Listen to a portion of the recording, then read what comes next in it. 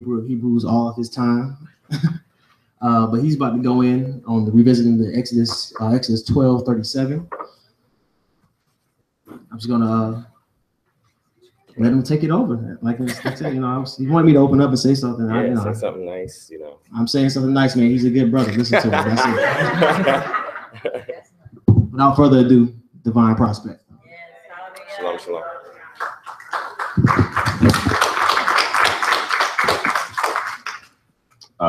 I think Uzi took autonomy to another level. He said, "Bro, you come get this mic yourself. I'm not even gonna pass it to you." yeah, yeah, yeah, all of that. Uzi, one man show right there. All right, fam. Uh, Baruch haba, Shabbat shalom, mishpacha. How's everybody doing? You doing good? Supposed to say Kane, Khan, Khan. Yes, yes. Okay, cool, cool. All right, thank you everybody for showing up on this um, Shabbat service here at Hebrew Congregation of Atlanta, um, where the congregation is officiated by Minister Milton Carnes, who's a great overseer, uh, very good with academia, very good with counseling, just very good all around. So uh, the members of this congregation are blessed to have him be an overseer. Me, I'm just in his place for today on his stead, uh, just to just to do a little lecture, something interesting, because um, one thing we have to understand is that uh, one thing I learned from being in the Christian church is that I learned homiletics. Does anybody here know what homiletics is? Hold on.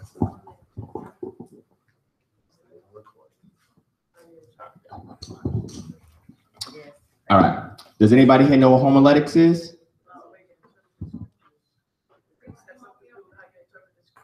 That's hermeneutics. That's close. That's good. That's good. Okay. At least you gave an answer. Nobody else is saying anything. Nobody knows what homiletics is, right? Okay. Homiletics is what's called the art of preaching, right? So it's a protocol or methodology you go about preaching, right? And one of the things that you learn in formal homiletics is that when you are speaking in somebody else's congregation, you have to avoid doctrine.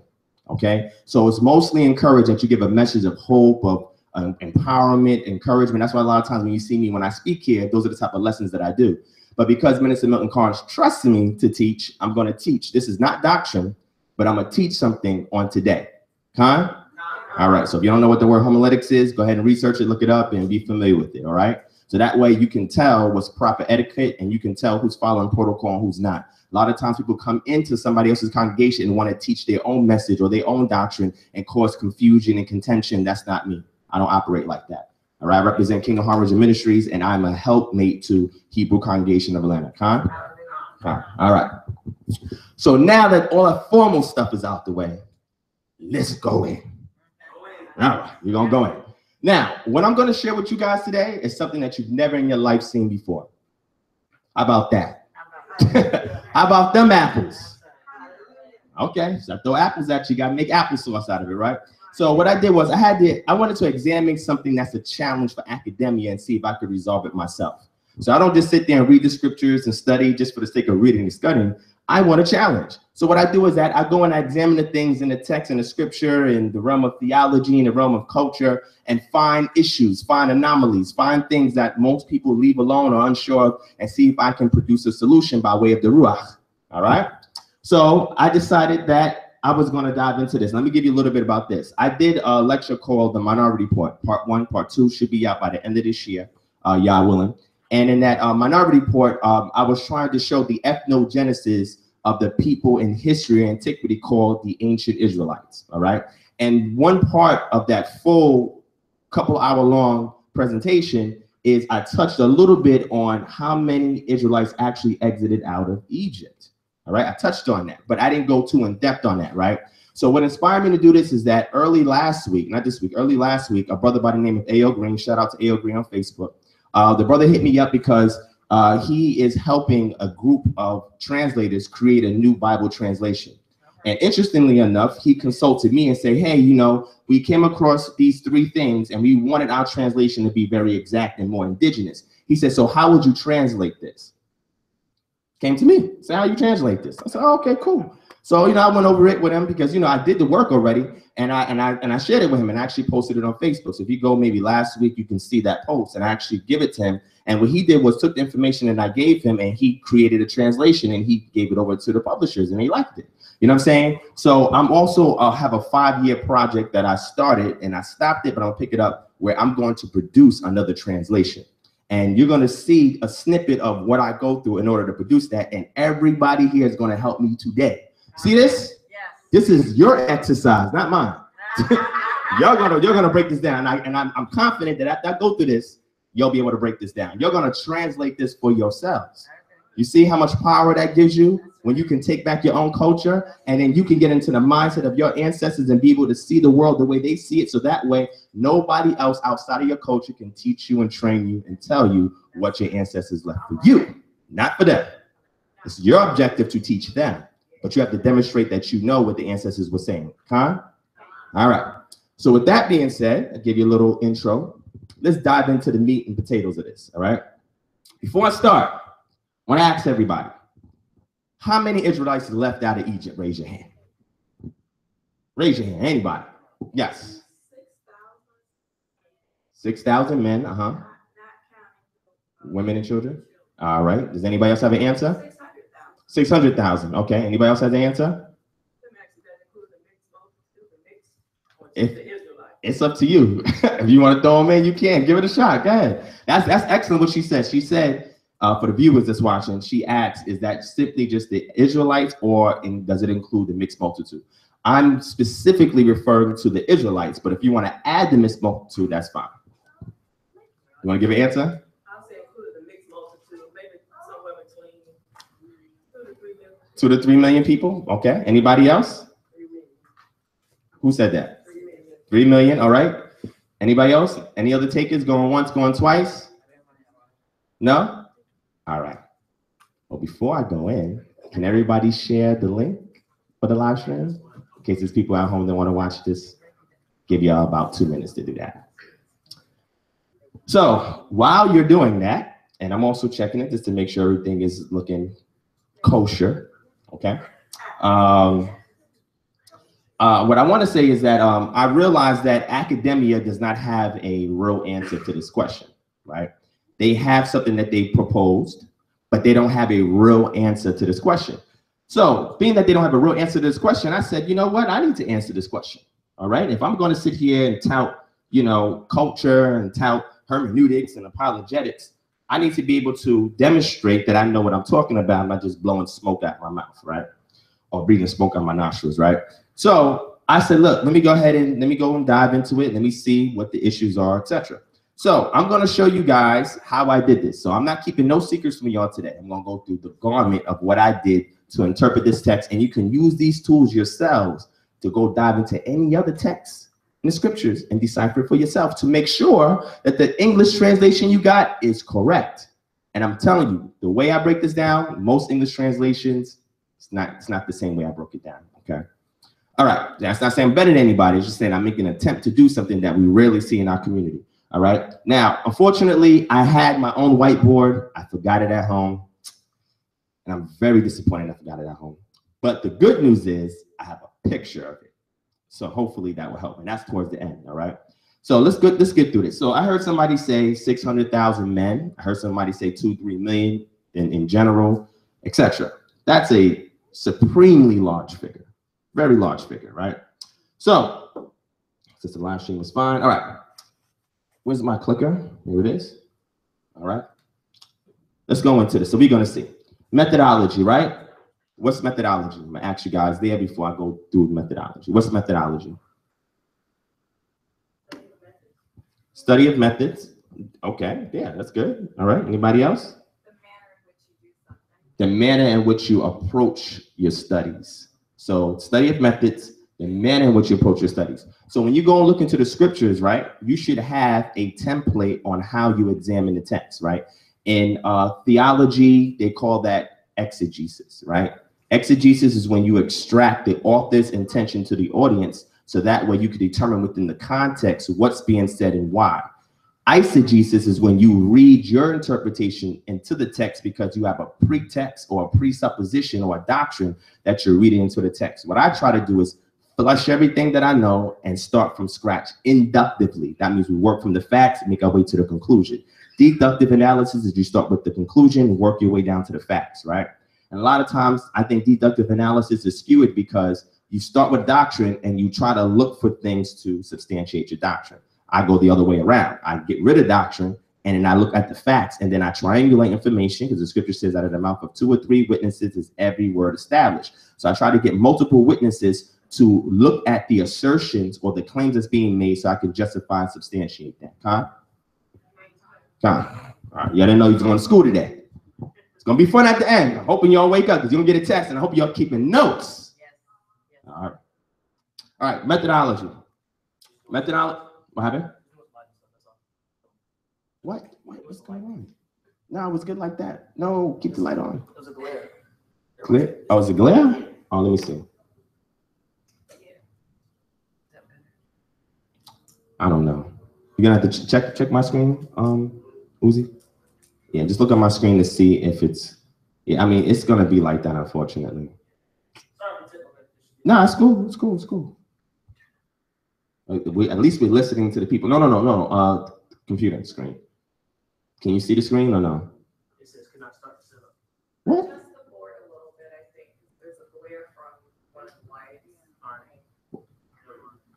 Can you see? You got it. Can you see the screen? Y'all can, it's, it's still, you can barely see what's on it. Uh, all right. Well, I'm doing this for free for the people, so they get the live. Stream. I wasn't going to do a live stream, but hopefully y'all can follow me. I'm sorry you can't see the screen, family, but um, this is just a live stream. I will put the official video out. I promise you after this is over. All right, because I don't want to waste too much time. All right, so let's get through this. All right. So methodology. All right. So my methodology. Do you, um on that on that camera? Do you see a glare? Yeah, you can leave that. Yeah, that's good. Is that better? It's blurry, but you're fine. Okay. On this, what about this um right here? You see? Actually, it's clear. Okay, cool. That's what counts. All right. So methodology. So first, we're going to start off with historical analysis, right? So if the question is revisiting Exodus 12 and 37, and it says how many Israelites exited out of Egypt, we have to look at the historical data to see what history says about this particular subject matter. Okay? Okay. All right.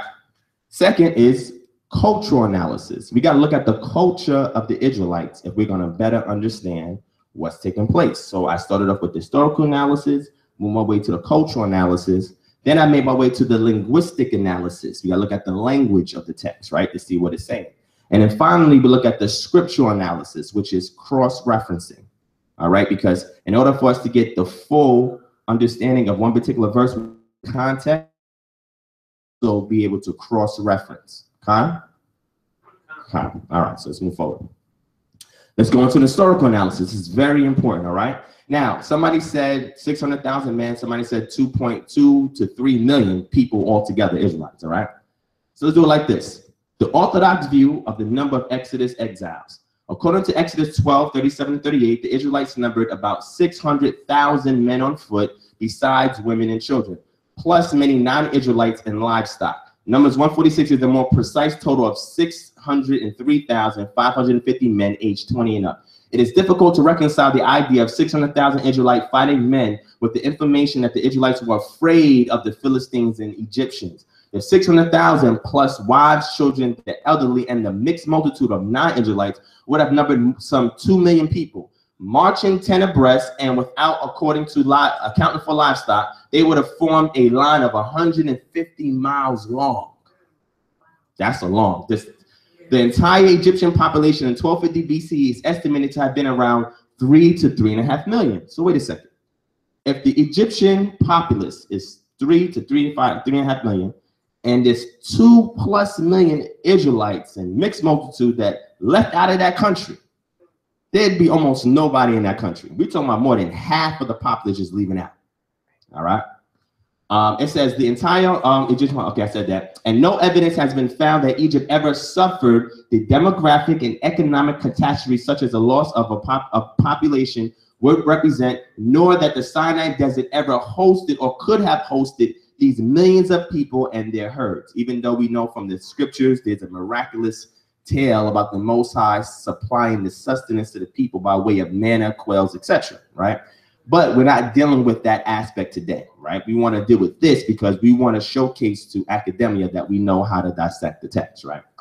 So it says, some have rationalized, pay attention to this, some have rationalized the numbers into smaller figures. For example, reading the Hebrew as 600 families rather than 600,000 men. But all such solutions have their own set of problems.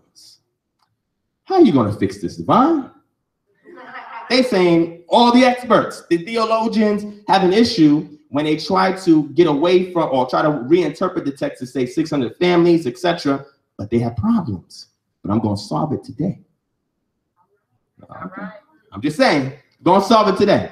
The most probable explanation is that 600,000, now they got to make it metaphysical um, or figurative, symbolizes the total destruction of the generation of Israel which left Egypt, none of whom lived to see the promised land while the 603,550 is a gematria. What's gematria? Anybody?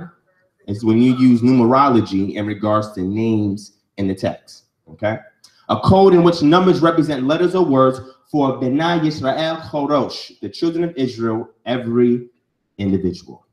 So, what they're saying is the Orthodox view is that 600,000 Israelite fighting men left out. And if you add the women, children, and the mixed multitude, you're going to get over 2 million people. But they said around 1250 BCE, there's only about 3 million people.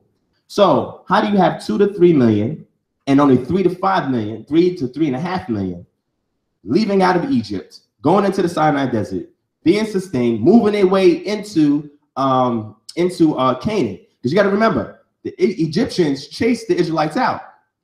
So if you had two, 2 million people Think about that. You got 2 million people, and the Egyptian army nowhere near numbered this.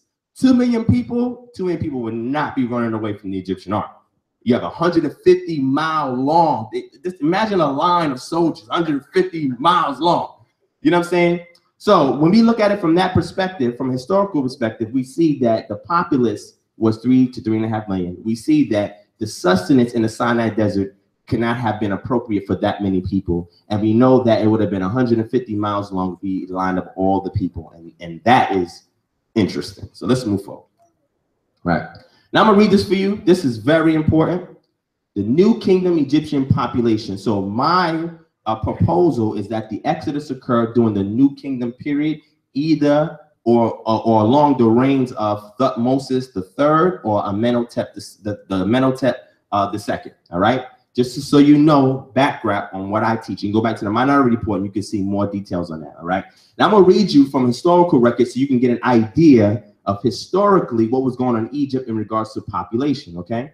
The population count of Egypt under the first dynasties was possibly between one and two million inhabitants, rising slowly into the end of the Old Kingdom when a century of low Nile floods and the decay of the central power with its role of hoarding and redistributing grain surpluses caused families which killed many of the very young and old. There are no records of similarly long periods of what looks like population decline after the restoration of order, which marked the beginning of the Middle Kingdom. Over the centuries, there was a steady influx of foreigners, often driven by drought or overpopulation in their homelands. Nubians entered Egypt during the first intermediate period. Canaanites, and among them probably Israelites, sojourned by the Nile many times during the second millennium BCE. They were referred to as Asiatics by the Egyptians. Enslaved people were displaced during the expansionary phase of the empire in Asia and Africa, Middle and New Kingdom. The Hyksos, a Middle Eastern people, conquered Lower Egypt during the Second Intermediate Period. The Sea people tried to do so in the 12th century. Libyans settled in the Eastern Delta. Jews, led by Jeremiah, found a safe haven in Egypt after the Assyrian conquest of Judah. So now we see all these various influxes coming into Egypt and, and contributing to the population. They can have added but relatively little to the population size. The Hyksos were mostly expelled at the end of the second intermediate period, and the sea peoples, apart from those who uh, were enslaved or became mercenaries, were repulsed. More peaceful was the presence of Phoenician traders in Lower Egypt, probably since earliest times. Before the advent of the Greeks in Egypt, Phoenician ships carried much of Egyptian overseas trade and were never completely replaced by the European rivals. All right. Then it goes on and says the late dynastic period saw Libyans and Cushites conquer and settled, and Ionians and Carians founded colonies. Assyrians and Persians were mostly content with controlling Egypt from afar. Macedonians and Greeks, on the other hand, founded new settlements but did not merge with the indigenous population in the beginning. Later on, ethnic barriers become less impermeable. All right. Um, The numbers of the migrants and conquerors were not very large compared to the indigenous Egyptian population, and they were mostly absorbed over the centuries after having had separate identities for a few generations. Herodotus speaks of the uh, Hermorabians, uh, excuse me if I messed it up, uh, having reached at their peak the number of 16 myriads, or 160,000, and the Calasirians, 25 myriads. For individual foreigners, integration into Egypt society seemed to have been swift and relatively unproblematic, be it as merchant soldiers, or artisans, or servants of the crown. More than 400 officials employed in the royal bureaucracy during the second millennium BCE have been identified as Asiatics. There is little evidence that they were discriminated against, even if they retained some of their native culture, such as foreign names. The majority of the population lived in villages near the land where they worked and the animals they tended. Close proximity to one's property was necessary to protect it from being stolen. Towns served as regional, economic, religious, and administrative centers, and the inhabitants began to accumulate wealth. All right. So now what I did was I made sure I included this graph. All right. So we go to 3000 BCE, which is the beginning of the pharaonic period, or when the Suts or the kings started to come on the scene, we have Narmer, who actually, you know, reunited the, this lower and upper Egypt, etc. We started off with a populace of about one to one and a half million. All right. When we get to the Middle Kingdom, we get to about two, two and a half million, right? By the time we get to the New Kingdom, which is the period of time that we're talking about, there was about 3 million, up to 3 million people in all of Egypt, approximately. It says it has been estimated that at the beginning of the Pharaonic period, the population count was about 1 million, and that at the time of the Roman conquest, which is much later on, after the late period, etc., about 5 million people lived in Egypt, give or take a million or so. That's because the borders were opening and more and more people were flooding in and coming into Egypt. After it was um, set up again by the Greeks who created Alexandria and all these other nomes, etc. So this is very interesting to note that by the time the new kingdom comes, you only got 3 million people in all of Egypt. But we said 2 to 3 million Israelites left out. That's very interesting. No wonder why academia and the secular realm don't take us serious. Okay. Are y'all following? Yes. Excavations at Avaris by Manfred Bietak. How many of y'all know what Avaris is? Raise your hand. Yes, what's Avaris? It's the city where they found one of the um, re- uh, remains of. we say Hebrew. Hebrew. Okay, gotcha. All right. Anybody else? It's also called Goshen. What's Goshen? If y'all don't know what Avaris is, or Pi Ramses. You, these names should ring a bell. Anybody? The Israelites. The scripture says that the Israelites settled at Pi Ramses, and what's the other city? Well, Goshen is it's the same, but Pithom, and they created storage cities. These cities were storage cities. They had silos for grain and other goods. Okay, so Avaris is the area where it is purported that the Israelites had settled and had lived. Okay, so Pi Ramses is the is at the top during the Ramsey uh, dynasty, and then the much lower later, talking about the strata. That's called stratigraphy. You have various stratas, and depending upon what you find in these stratas, you can determine what uh, approximately what time period these things happen. So now Ma- Manfred Bietak is the the uh, Egyptologist, archaeologist, and excavationist that's responsible for digging up this city. And what they discovered was this was the capital where the Hyksos lived, right? And also, if any of y'all seen the Patterns of Evidence movie, right? You'll see that they speak about all of these things that they found, like this statue that was purported to be Yosef, and the 12 tombs that was there, and in his tomb that looked like a small pyramid, and all these other pieces that they found. They actually got it from this city here, from Avaris. So this is the purported location of where the Israelites had lived. According to the scripture, we have Pi Ramses or Goshen and Pithom, which is another storage city.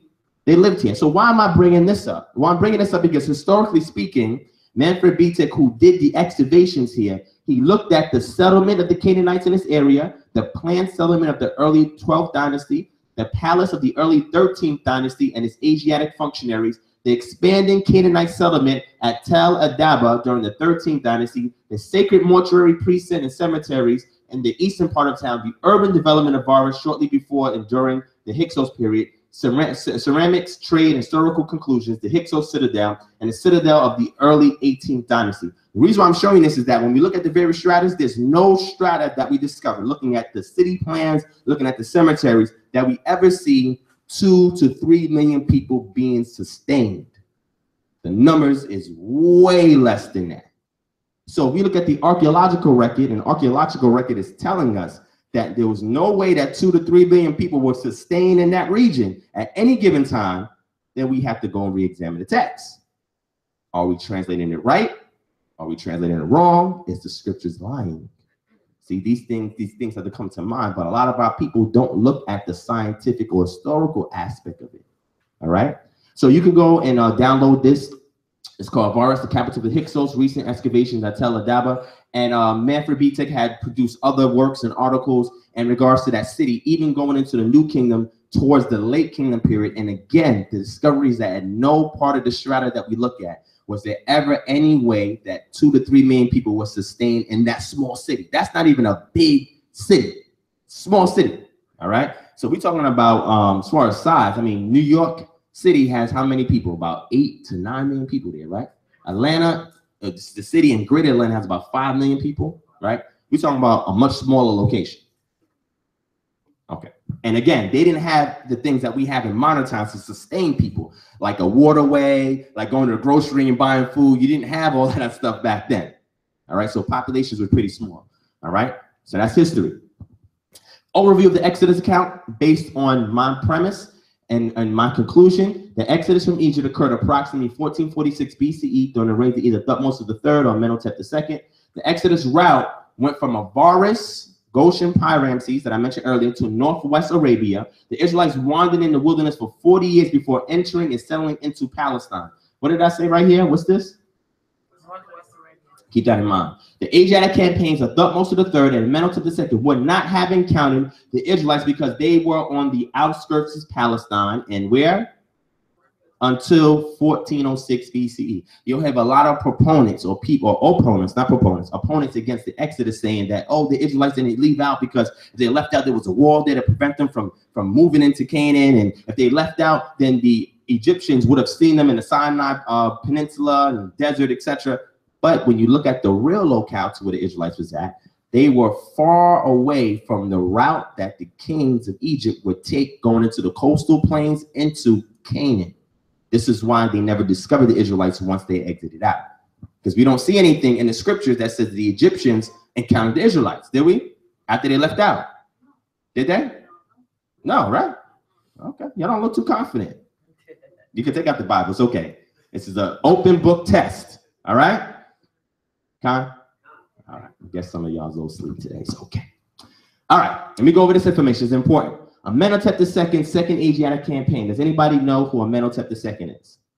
If you don't know who he is, I need you to research.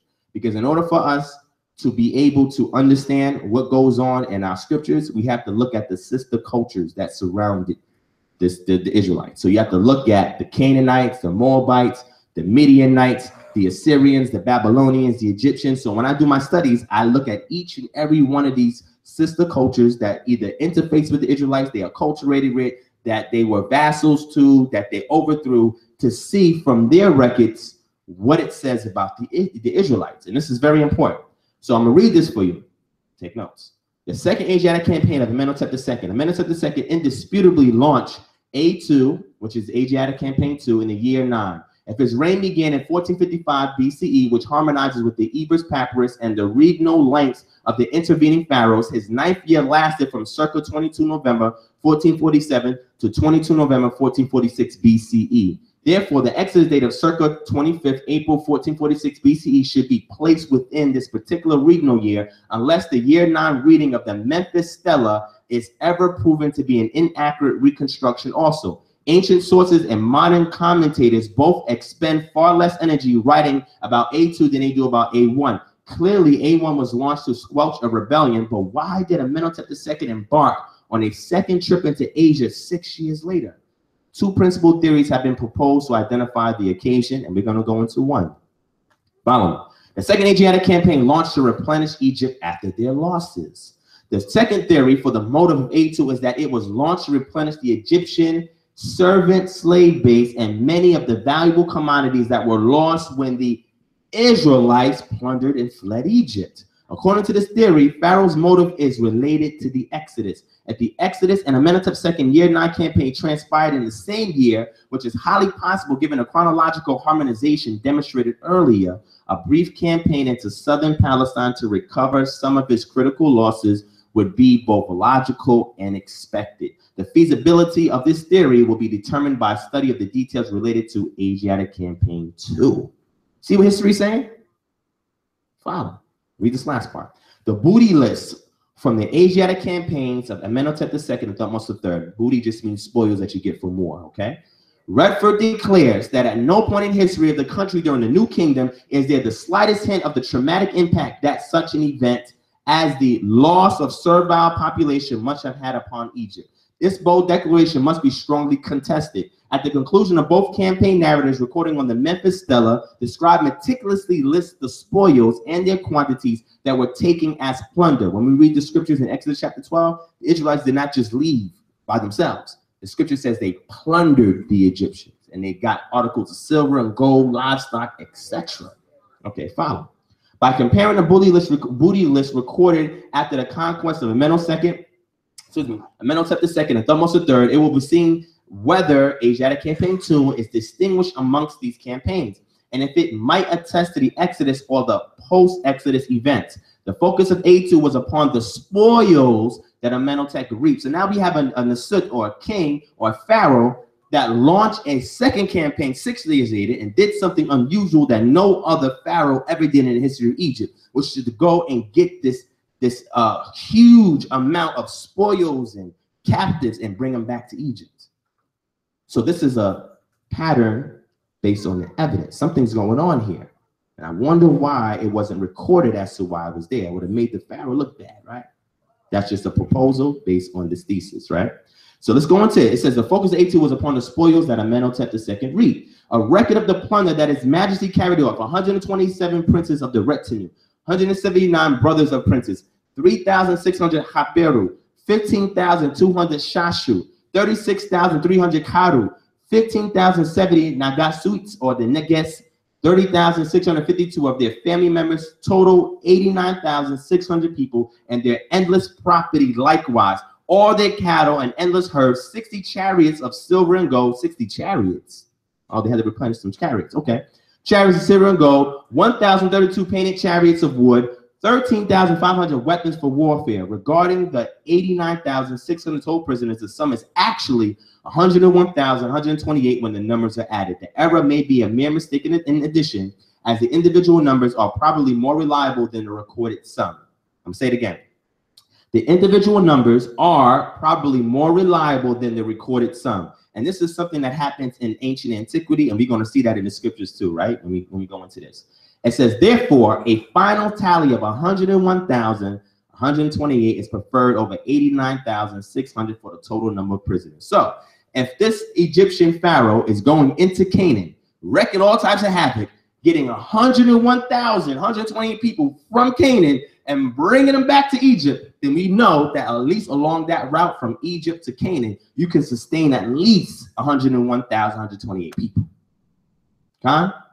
With livestock, with chariots, with articles of silver and gold, etc.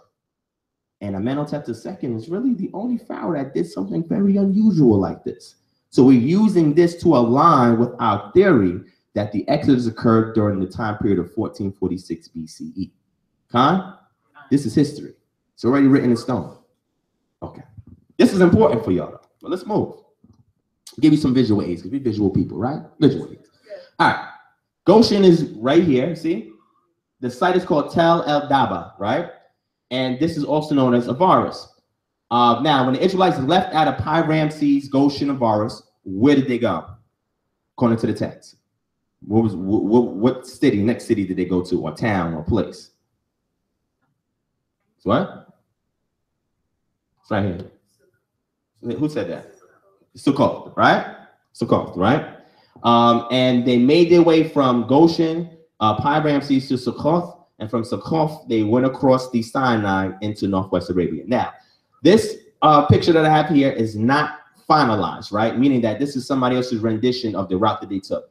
My what I propose is that the route that they took, they went from Goshen to. It's either in this area or maybe in this area. And then they went from there and they went over this strait over here. Some people propose it's the Straits of Tiran. I propose it may be in this area, and it could possibly be the Straits of Tiran as well. One of these uh, areas is where the Israelites had went through. The Israelites did not go from Goshen and make their way up here into Canaan. That did not happen because if they made their way there, they would have went right into the promised land. No need for you to do 40 years. Okay.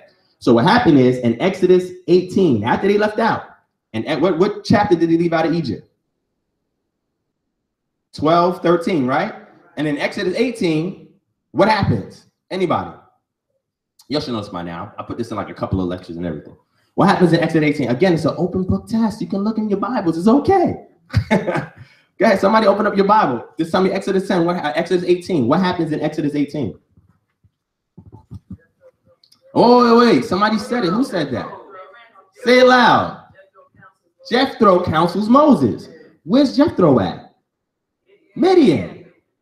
Midian is over here. It's not in the Sinai Peninsula. So if they left out on Exodus 12, 13, and they found Jethro on Exodus 18, this is, again, how many chapters in Exodus? Somebody look in the book. How many chapters in Exodus? How many? 40. And we only in chapter 18. They made their way over here to Northwest Arabia, which is where Mount Sinai, the real Mount Sinai is, what we call al-Lawz.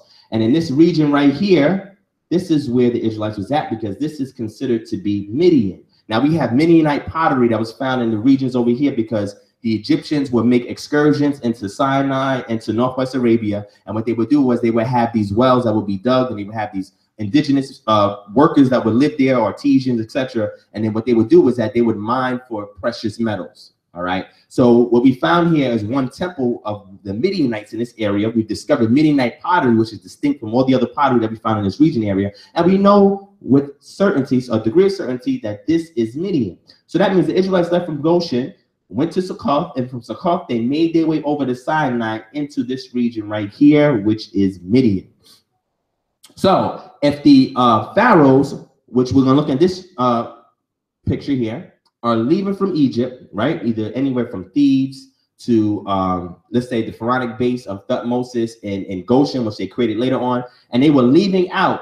This is the route that they were going. They would take the coastal plains near where the Gaza is at, make their way up to Mahaz, Joppa, etc., and make their way into this region here. So if you look here, this is uh, his year seven, year nine. So year nine would be the dotted lines, right? And this is where Amenhotep II was going to get his spoils, his booties, and all that stuff he was getting in this region right here. The Israelites were nowhere around this region when he was going there, but they were further south here in Mount Sinai. So that's why the Israelites left out and they, they camped in this area. When the uh, pharaohs was going out onto their journeys and so forth, they were going up this way here, so they would have never encountered the Israelites. Then the Israelites made their way from wandering in this area, made their way north into where? Jordan, crossed over the river, and made their way into Canaan. And the first city they hit was Jericho. There you go. Then Ai, and then what's the third one? Hatzor. Okay. So now you're getting to see imagery, right? Getting to see what's going on here.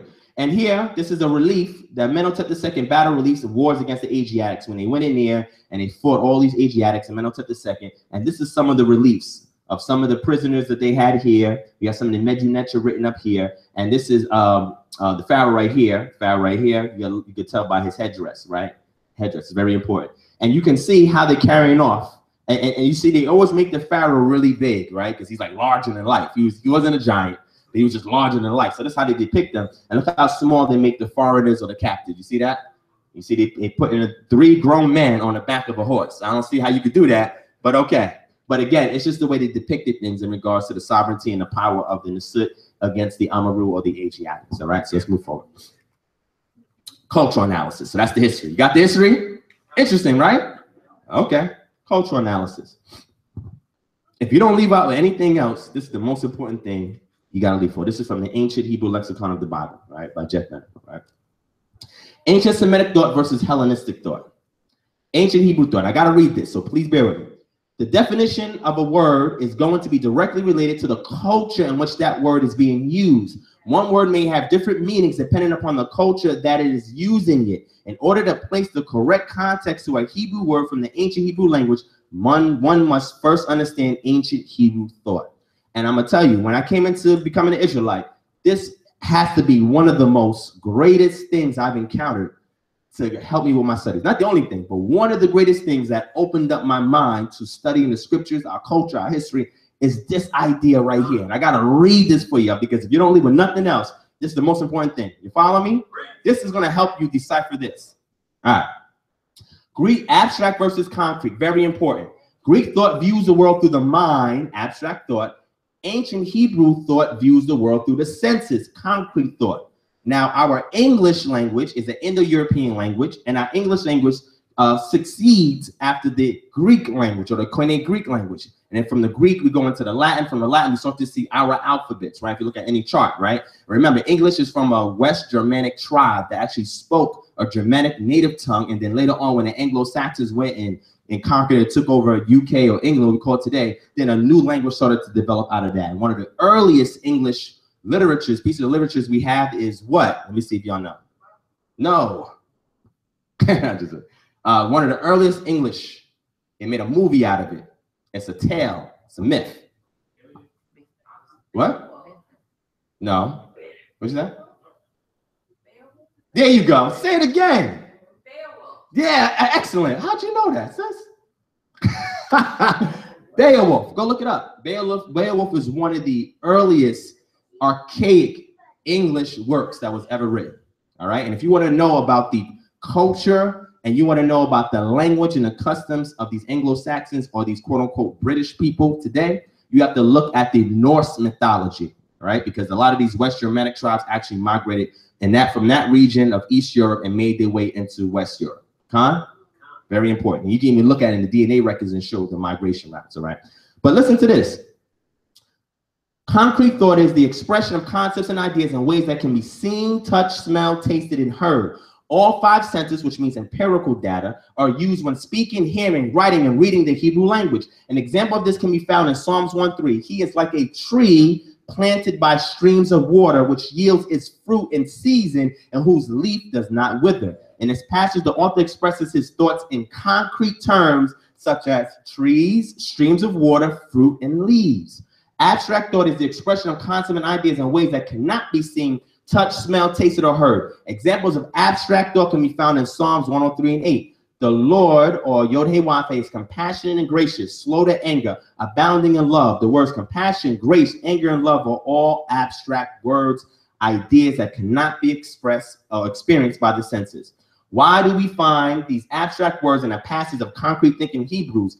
Actually, these are abstract English words used to translate the original Hebrew concrete words. The translators often translate this way because the original Hebrew makes no sense when literally translated into English. That's why I'm looking. The best Bible to get is an interlinear Bible. I'm telling you, I will save your life. That's the best Bible. If you can get an interlinear Bible, grab you one, okay? Because when you look to see how it's literally translated, it makes absolutely no sense in English. But when you start to learn the language, it starts to make sense. Remember, English or you know, a lot of Indo-European languages start with the subject first, because the subject is an abstract idea or premise. Goes from the subject, then the action, then the object. All right. In Hebrew, they're more concerned with the event or action or activity that's being done. So the verb is expressed first, then the subject, and then the object. This is very important. Okay. And you'll see this when you look at the interlinear. All right. So follow me. Let us take one of those above abstract words to demonstrate the translation from a concrete Hebrew word to an abstract English word. Anger, an abstract word or idea, is actually the Hebrew word af, which literally means nose, a concrete word. What? When one is very angry, he begins to breathe hard and the nostrils begin to flare. A Hebrew sees anger as the flaring of the nose or nostrils. As it translated, literally translated the passage above as slow to nose, the English reader will not understand. But because the culture teaches you to use concrete items to make sense of your reality, even as an abstract thought, we look at things that are actually happening in the world and use that to explain a scenario. This is deep. It's very deep because this will help you and open your mind to understanding our culture. All right, last part appearance and functional descriptions. This also relates back to this. Greek thought describes objects in relation to its appearance. Hebrew thought describes objects in relation to its function. A Greek description of a common pencil would be it is yellow and about eight inches long. A Hebrew description of the pencil would be related to its function, such as I write words with it. Notice that the Hebrew description uses the verb write, while the Greek description uses adjectives yellow and long. This is important, family. Because of Hebrew's form of functional description, verbs are used much more frequently than adjectives. All right. To our Greek way of thinking, a deer and an oak are two different objects, and we would never describe them in the same way. The Hebrew word for both of these objects is ayil. Because the functional description of these two objects are identical to the ancient Hebrews, therefore, the same Hebrew word is used for both. Did you know that? Interesting. A deer and an oak. The same word is used to describe both. Reading in the context. That's deep. Let's go see one. The Hebrew definition of um, uh, Aleph, Yud, and uh, Lamed, which we get the word Ayil, is a strong leader. A deer stag is one of the most powerful animals of the forest and is seen as a strong leader among the other animals of the forest. The wood of the oak tree is very hard compared to other trees and is seen as a strong leader among the trees of the forest. Notice the two different translations of the Hebrew word ayil in Psalms 29 and 9 or Tehillim 29 and 9. The New American Standard Bible and the King James translated as the voice of Yahuwah, Yod makes the deer to calve, while the NIV translated as the voice of Yod twists the oaks, deer oaks. And you'll see it. This is when you do textual criticism. You'll see one place it says deer, one place say oaks. So hold on, two different translations. One saying oak, one is saying uh, deer. What the heck is going on? Go back and look at the root word, understand the concrete uh, mindset of the ancient Hebrews, and then you'll understand why it's the same word is being used based on its function, not its description, its function. Um, it says the literal translation of this verse in Hebrew thought would be the voice of the Most High makes the strong leaders turn. Remember, the oak and the stag or the deer is considered leaders, strong leaders of their strength and their robustness. So if you want to really literally translate it, you won't even use oak and you won't even use deer because it would be confusing. You'll just say leader. Okay. When translating the Hebrew into English, the Greek thinking translator will give a Greek description to this word for the Greek thinking reader, which is why we have two different ways of translating this verse. The same word ayil is also translated as ruler, a strong leader of men in 2 Kings 24 and 15. So sometimes when you do word studies, you got to see other places where this word is used, and it'll definitely give you the context of what it's trying to be conveyed. And this is why we got to do contextual analysis and we got to go through cross referencing, looking at other scriptures that have the same word to get the context of what that word embellishes, right? Or embodies, excuse me, not embellish. Ancient Hebrew will use different words for the same thing depending upon its function at the time. Ancient Israelites were concerned with events at that time, activities at that time. Their method of synchronistic chronology did not develop until the Greeks come on the scene. So people say, oh, we want to date, we want to date the mindset of the text is the events based on them happening, whether it's in a present, past, or future, and their concern from dating time or reckoning time is be from one event to another event, one event to another event. That's how they regulated time. They didn't think about it in the, the more modern political sense of keeping dates and records. It was a different mindset going on. That's why you don't see years in scriptures. As far as 1446 BCE, you don't see those type of things because we're dealing with a different type of people, people who are agriculturalists, uh, semi-nomadic, pastoralists, etc. Okay? All right, let me wrap this up. All right. For example, an ox may be identified as aloof when referring to a lead ox and a shor when referring to a plow ox. Bakar when referring to an ox of the field or par when referring to an ox of the threshing floor. So even the descriptions of an ox will change based on its function at the time. It's not consistent like we see in our English mindset or the Greek Hellenistic thought. Huh? This is probably the most powerful thing that's going to come to mind because it's all about concrete, seeing the world through your senses. That's how we live off of nature, off of the animals that we had, looking at the sun, moon, and stars, like I did in my other lecture. They were very natural people. They didn't want to continuously and, and, and argue things because uh, you'll see a lot of that in, in, in, Greek philosophy, arguments between various philosophers. They didn't care about those things. They were only concerned with the immediate function and immediate action and how things are linked between these different events. Khan? Khan? Kane? Okay. Pastoralism, a social economic system based on the raising and herding of livestock. Pastoralism is a branch of agriculture concerned with the raising of livestock. It is animal husbandry, the care, tending, and use of animals such as camels, goats, cattle, yaks, llamas, and sheep. Word is here herding. That's very, very, very, very, very, very important. Semitic mind uses concrete elements to make sense of an abstract world through action and functionality. And the Hellenistic mind, which the English is a derivative of, uses abstract elements to make sense of the concrete world based on subject and adjectives. And this is an example of herding cattle. This is Africans herding cattle. See this? Imagery is very important. Keep this in mind. This is a herd or a clan of animals. Very important. You see how many of them is there? But sometimes it could be utilized as one unity or what's called a collective noun. A herd could be a collective noun. What's a collective noun? Anybody? Anybody? All right. Collective noun is a word or a noun that has a singular form, but it gives a plural implication. All right. So say again. Congregation. You don't have to say congregations. Congregation is a collective noun, but it incorporates multiple different units. You got it?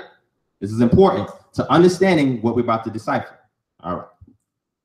Linguistic analysis. Now you gotta get your pen and papers out because now we're gonna go into the how to decipher this. See this? Now, if I could teach you how to decipher this during this short lecture, I have to be a good teacher. All praise to the Most High.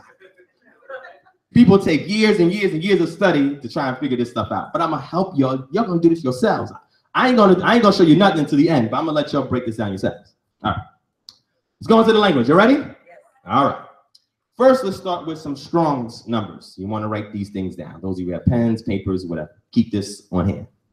Strong's H504 and Strong's H505. It's the same word. Same word. Very important, but it's two Strong's entries, right? Look at this. The word, the first one is LF. The same thing with this one, H505 is LF, right? Now remember, and I always teach this, Strong's is elementary, but it's a good way to start. There's other lexicons that you can utilize that can give you more in-depth information. I'm gonna show y'all this. But I don't want you to look at the Strongs for some of y'all who are deep and be like, oh, he's on, he only in the Strongs. No, I'm using it because as a teacher, you got to identify your audience. Everybody's not on the same page. So sometimes some people need baby food, baby steps before they can get into running, walking, eating meat. So I have to bring you through the Strongs, but I'm also going to show you the references in other lexicons. Okay? Right. So with the word LF, it's a masculine noun, all right? The KJV translates it in the following manner. Kind. What's a kind? K-I-N-E. Kind. It's a collective noun meaning what? what? Say again? Livestock, right? Kind is a collective group of oxen, cattle, livestock. Kind. It's a collective noun, meaning that it's singular in its form, but plural in its sense. Got it? Okay. It could also mean family. Hmm, interesting. Cattle, oxen, and farming as in a possession. And left from H502, write that down. I'm going to it. A family, also from the sense of yoking or taming an ox or cow, family kind oxen, all right? And the uh, Gesenius's Hebrew Chaldee lexicon, it's an ox or cow. Um, it occurs in the plural sense in some places, use of a cow. Also, we see in Deuteronomy 7, 13, 28, 4, the singular is found in the name of the first letter, Aleph or Alpha. That's very important. Strong's H505, same thing, Aleph, masculine noun, but when we go to the KJV, it's translated as 1000, 1100 with H3967, variant 1200 with H, H967. Uh, now, syntax. When this word is syntax with H397, it means 1200. When this is syntax with H367, it's 1100. That's important, syntax. But without the syntax, it's saying it means thousand or variant. Well, how can that be when it's the same word as Strong's entry H504? D. Let's get into it. It says biblical usage is a thousand as numeral, keep that in mind, thousand as in a company, as a company of men under one leader or troops. How many y'all have been in the military? Raise your hand. Anybody? Have a family member has been in the military? Watch military on TV. Oh, ah, you got, got everybody. All right, there we go. All right. So a left can also mean a company because it goes back to the root sense meaning a what? Cattle, kind, herd. clan, family. Interesting. And left, probably the same as H504. Probably the same. How is it probably the same when it is the same? Hence, the ox's head being the first letter of the alphabet, Aleph, and this eventually used as a numeral, a thousand or a thousand. Read some of this. It says um, a thousand signifies 10,000. Perhaps it is partially a joining together and large conjunction of numbers. The nouns enumerated generally follow the numeral, and some indeed in the singular, others in the plural, others promiscuously, as in First Chronicles 19 and 6. Uh, more rarely and only in the later Hebrew does the noun precede First Chronicles 22 14. The principle is different of the phrase we have here. Kaf, Samek, Pe. Aleph, Lamed, Pe. A thousand or shekels. Shekels, that's important. Because remember, syntax it. Shekels of silver, as to which um I forgot, I forgot what this is, L-E-H-R-G, but you can go back and study that. So reference that uh, Gesenius's uh, lexicon is making. But let me read the rest of it. Support. It is not unfrequently put for a round number. More often used as a round number, thousands of myriads, such as Genesis 24 and 60. A family. Wait, hold on. This is going from this is this is part of H505, but H504 says the same thing. Very simply, family. Many of which constituted one tribe, used of a town as the abode of a family. Micah 5 and 1. Very important. But it comes, it goes to this root word here. Strong's 502. Same consonants, different diacritic marks on the kud underneath. You got a kamatz under the aleph, and you have a patak under the lamed, and a pay at the end. And this is alof, right? And this is, it translates as teach, learn, utter. Interesting. To learn, the Qal sense is what? Active voice. The Piel sense is the intensive, intensive, right? To teach. The strong definition for alaf is a primitive root to associate with. Primitive root meaning you can't get no lower than that, okay? And uh, in Hebrew, you have what's called trilateral roots. And most words are made up of trilateral roots. You have some bilaterals, but most of them is trilateral roots that is then modified depending upon the context. All right. So the trilateral root is aleph, lamed, pe. That's where we get the word aleph, which is the first letter of the Hebrew alphabet. Okay. But look at this. Why would aleph mean teach? Why would it mean to associate with, to learn, causatively to teach, learn, teach, utter? Well, you got to go back to the culture. That's why I put this image up here. You have two oxes here, right? When they yoke oxes together, you have an elder ox and a younger ox. So being that the elder ox has experience on treading, moving, being navigated, they yoke him up with the younger ox so the younger ox can learn from the older ox. Get it? So when we talk about language, you got to look at the culture. Steve. Proverbs 24 and 22 gives this expression very accurately. Do not associate, do not associate with a man given to anger or go with a hot-tempered man, or you will learn, the word I left, or aloof, excuse me, his ways and find a snare for yourself. Why would you learn his ways? Because you're being associated with him and he's angry and it's going to cause you to sin or do something you shouldn't do. So that's why when the younger ox is yoked up to the older ox, he better hope that he knows what he's doing because if not, he's gonna get punished too. But this is the culture. You gotta understand the culture along with the words, and you gotta see it visually so you understand what's going on. Okay? Let's move forward. Hebrew alphabet. How many of y'all familiar with the Hebrew alphabet? How many of y'all familiar with the Hebrew alphabet? You can at least do this, right? Alphabet. Right. Let me see if you know. It's in order anyway. All right. First one is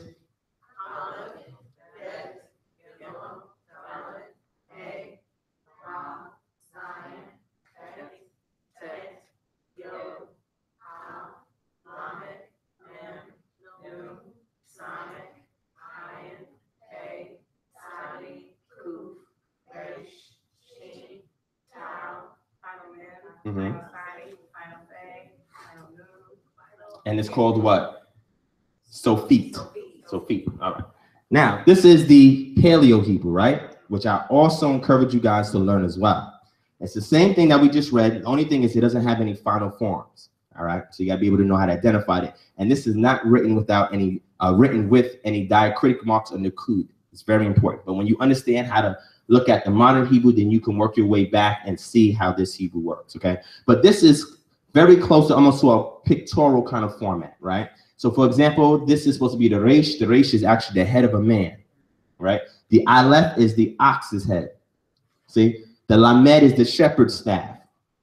Tav is a marking that you make. X marks the spot. Okay. Tit is where you put things in a basket, right? So all of these things you start to get an understanding of the language is it brings you back to the actual language. Kuf is supposed to represent the horizon and the sun uh, coming from one end or the bottom and moving its way over the horizon. All right. So all of this stuff right here brings you back to the ancient pictographic Hebrew, but you're not going to see any literature with the ancient pictographic Hebrew. But the ancient pictographic Hebrew is a way just to understand what each of these continents embody, because unlike Indo-European languages, unlike abstract languages such as English, every consonant embodies an attribute, and when you syntax them, it gives the character to the word. Huh? That's important. In English, you have A, B, C. If I put B, A, D, that means bad, right? But what qualities do the consonants have to tell you that that word means bad? It doesn't. It's nothing in your concrete environment. It's just an abstract thought that you're being taught and told by someone. So a child will have to take your word for it instead of seeing it in the environment. See how good the Hebrew language is? It brings us back in harmony with nature. Okay. Move forward. That's the fun part. This is really, I'm gonna go through this real quick. Y'all can get this. Pen and paper, because when we go through this, I'm gonna make some teams and y'all gotta decipher this, all right? So take some notes. All right, gonna put you on teams. It's gonna be fun. All right, articles, conjunctions, prepositions, consecutive verb, third person, future tense. Now, how many y'all was here when I did that brief impromptu off the dome lesson on Deuteronomy 2068? How many y'all was here? Raise your hand. Now, as you can see, I committed all this to memory, right? Because I had to go through it and everything like that. But I'm going to show y'all so y'all can see what I use in my mind to decipher certain things. And these things are very important because once you get these things, and it's not a lot, you'll start to be able to decipher this because you already know the letters, right? Y'all can recognize the letters, Con? Con? But now I'm going to give you some of the grammar so you can start breaking this down. And the secret is to look for the root words and then look for the modifiers. The modifiers are going to be the articles, the conjunctions, the prepositions, the consecutive verb, and the third person future tense. These are all going to be the modifiers to the root words. Okay? Now, if any of y'all have a Bible or your phone, go to BibleHub.com. Uh, you can go to blueletterbible.org or whatever you want to go to. And we're going to find the root words and we're going to look at the modifiers. And then y'all going to decipher this yourselves. And then at the end, I'll come in and I'll rescue y'all and I'll tell you. First thing is articles. Ha. Ha means what? I just said it's an article. What kind of article do you have? Definite and indefinite. Definite article is the. Indefinite article is a. Okay, got it. So when you see hey with the with the kamatz underneath prefix to a noun, it means the. When you don't have it, it can mean a. When we got the word barashit in uh, Genesis chapter one, people say it means in the beginning, but there's no hey there or no ha. So it doesn't mean the, it's in a beginning. Because the Israelites were not concerned about who created what. They were only concerned with the activities that directly affected our being for being here. They're not talking about how the angels were created and who created the most high. They wasn't concern with that. There was concern with the action. The Most was only wanted them to know the action that pertains to them. All that other stuff you're going to be pondering endlessly, and it's going to deviate you away from the task. Just focus on what I'm giving you because there's a purpose in that information. Huh? All right. When we have a wav with a kamet, kamet, I'm going to show you in the next screen. If y'all don't already know, kamet gives you a what of, of phonetic sound do you get with a kamet?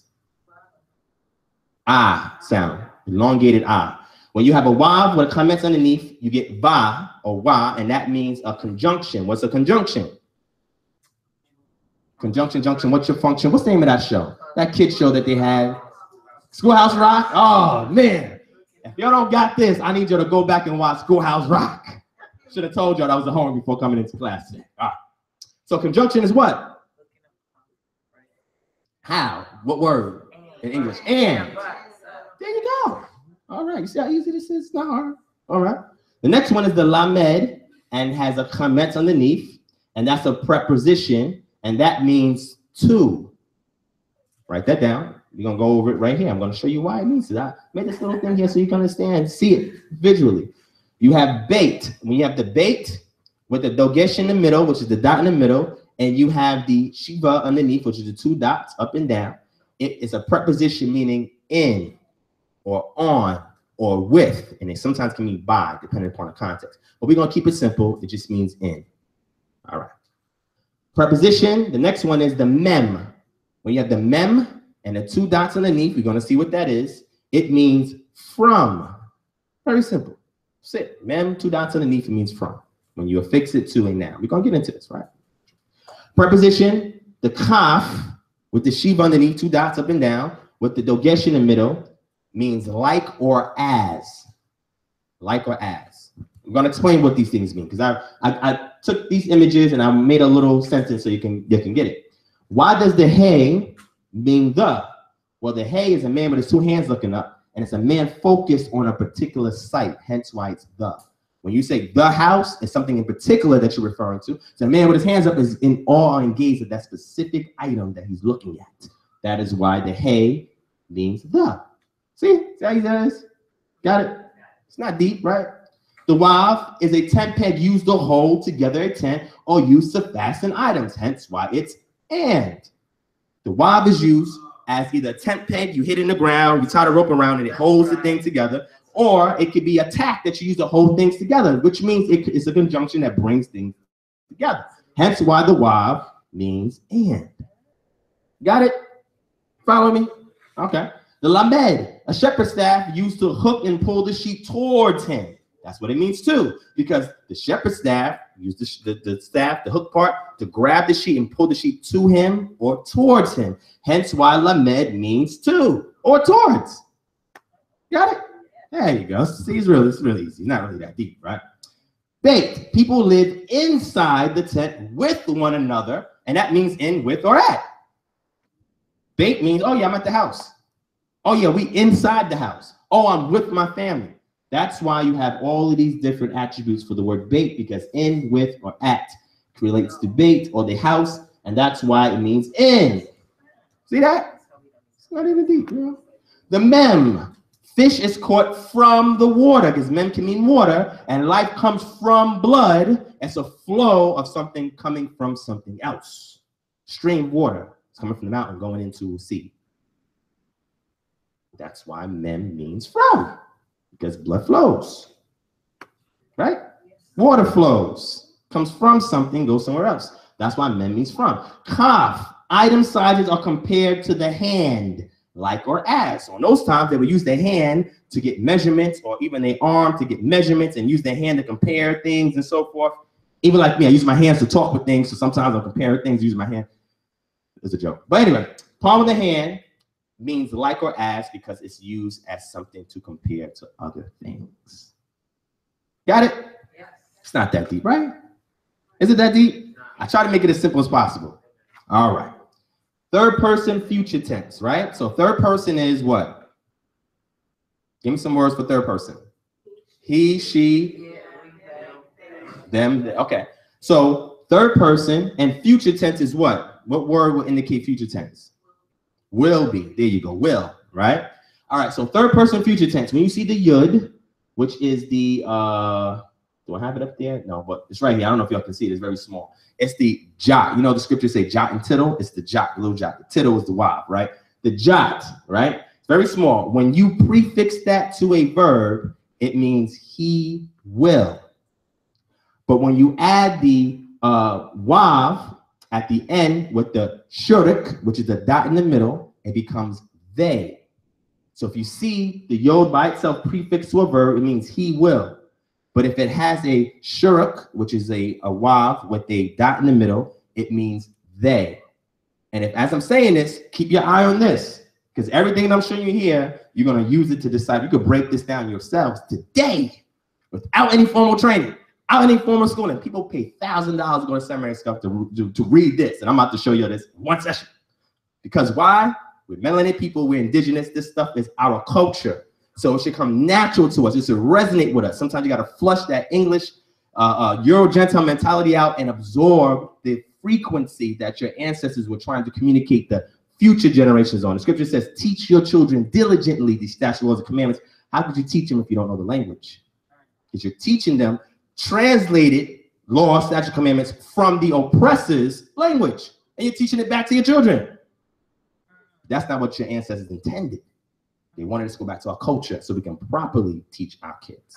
Huh? All right. So that's very easy, right? He, the yod affixed to a verb, means he will.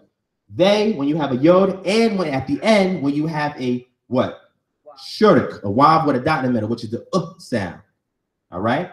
And the yod is the y sound or the i sound. If it has an hidik underneath, it's an i. If there's no hidik, it's a a y sound. Okay? You got it? Last thing, and I taught this last time I did my my quick impromptu lesson is the consecutive wav. Does anybody know what the consecutive wav is? That was here when I was teaching this. Real quick, we can move on. All right. So consecutive wav, when you add it or when you prefix it to a verb, it gives you the narrative sense. All right, about an action that is either happened or is going to happen, but in a narrative sense because it relates to literature. And I made the same distinction when I talked about Shakespearean works. There's things in Old English and Shakespeare that you don't use in colloquial speech, even at that time. But when you see these indicators, you understand that you're reading a literature that's telling a story or it's narrating something. And when you have this consecutive wav prefixed, okay, let's just move that out the way first. If you have a verb that's not modified, it's in the perfect sense, which means it's a completed action, past tense. When you add the consecutive wav to that verb, you make it the imperfect sense, meaning that it is a future tense now. But now the interesting thing is when you have the yod prefix, it means he will. But if I put a consecutive wav and prefix it to that yod, I'm negating that yod and I'm making it the perfect tense. Got it? It's almost like mathematics. Yes. Sure. No prefix means past tense. There you go. Uh huh. Wow means future. Yes. Okay, and then consecutive wow is in the narrative, like. Narrative sense. But if you have the regular verb, it's completed sense, past tense, like you said. If you add a yud, it means he will do whatever that action is. But if I put a wav on top of that, I negate the yod and I make it a completed action.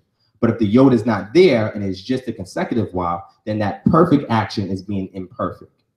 Yeah, you'll see it when we go through this, but you'll get it. It's just, it's, and I'm saying that because you'll know what tense, whether it's past or whether it's future. Now, present tense is also in context, but the Hebrew normally deals with an action that already was completed or action that's continuing or that will happen. And you have to read the context to determine that. All right.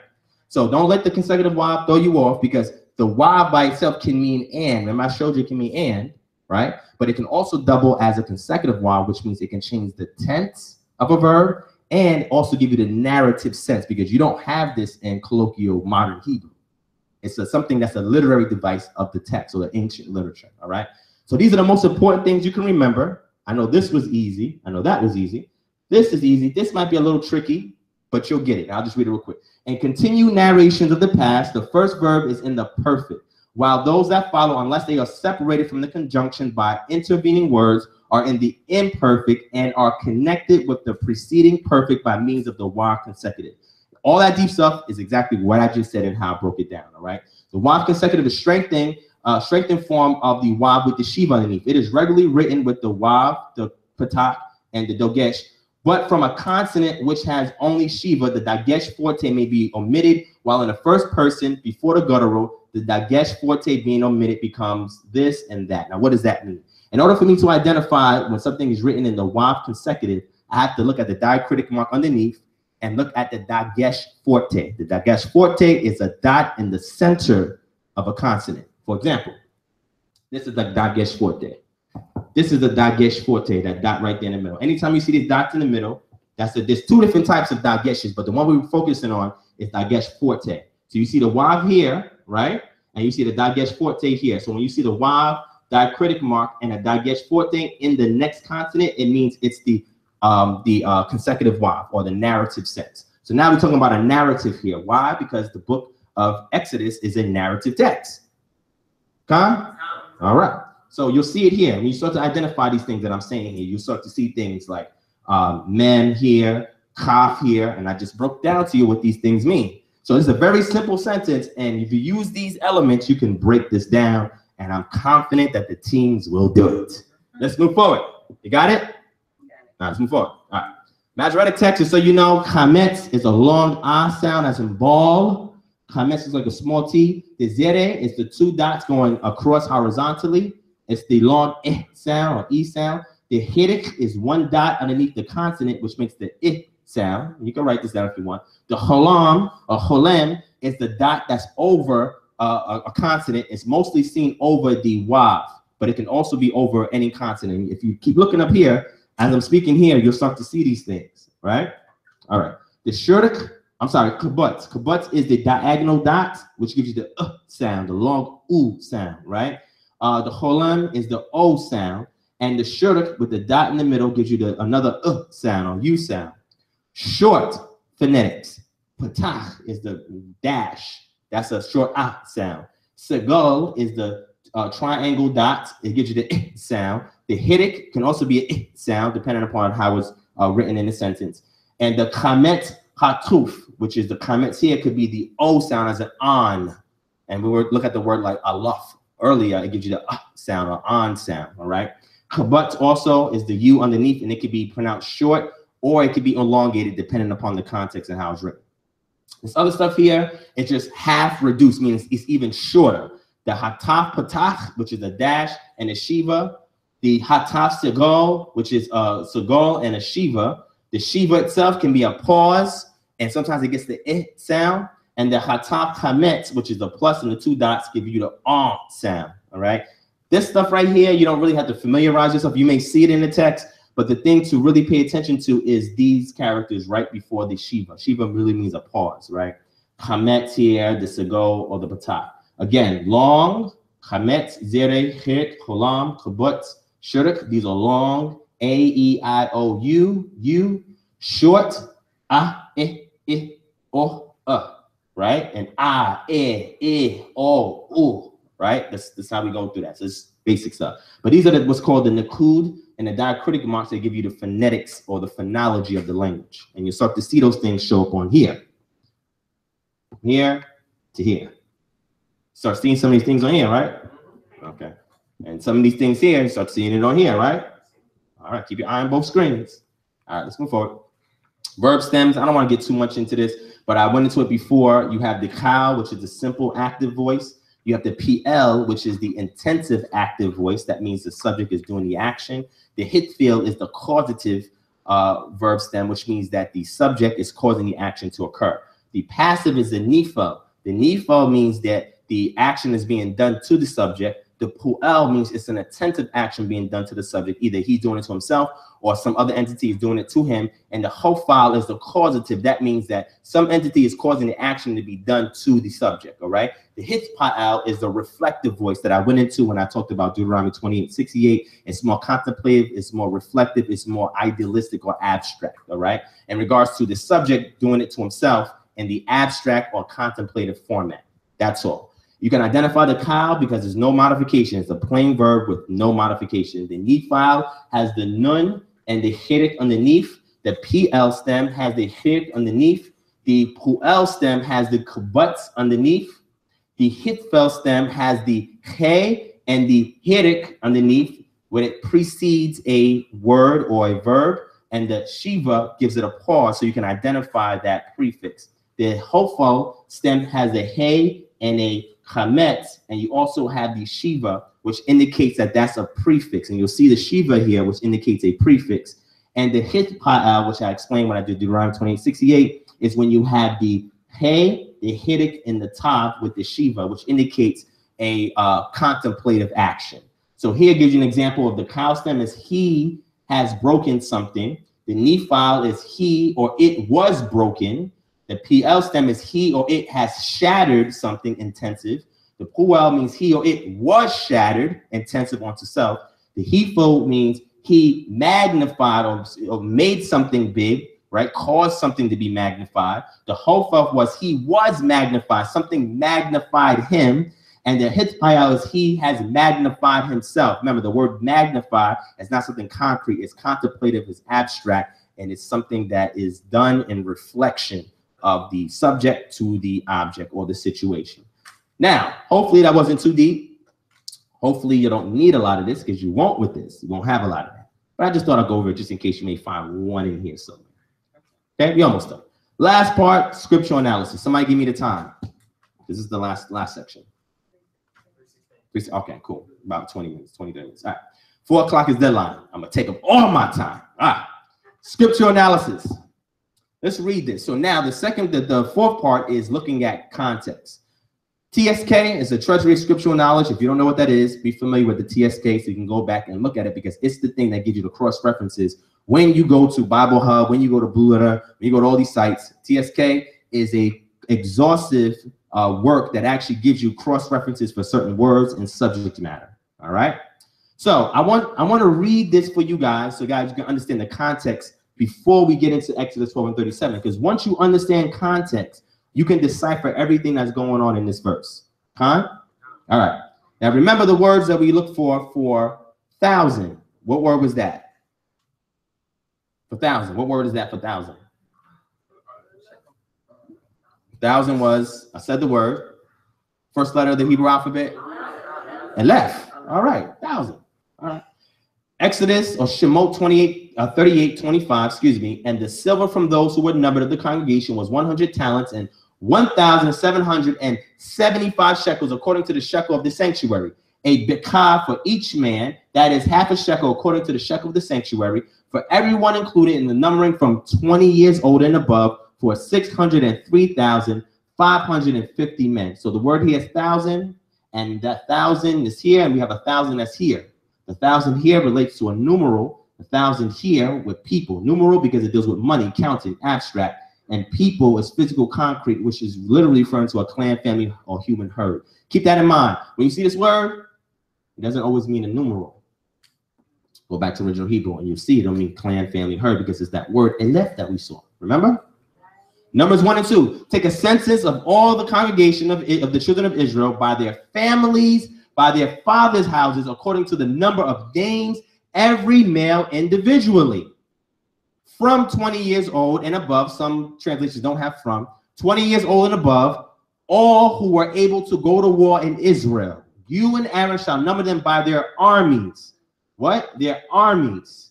The families fathers' houses according to the number of names of every male. This is this is very important when you think about a census. How many of y'all ever did a census for the state before? Now, I, I don't mean take the census. I mean you be the one going around and telling people, hey, you know, the census is here. You know, they ever knocked at your door and tell you to take the census before? You ever, ever, ever, y'all ever had that? Man, they don't do that out here. In New York, they do that heavy. All right. Census. So in census, there's particular things and everything is not related to each other directly. There's different types of census. You can have a census for troops or for army. You can have a census for a populace because when you do the census in modern times, they use the draft. Any of y'all ever had the thing that says, "Have you have you signed up for the draft? Have you registered for the draft?" How many y'all registered for the draft? Raise your hand. All right, I'm not gonna say whether I did or not because the camera's rolling. So that's the draft. All right, I'm not gonna get political on this, right?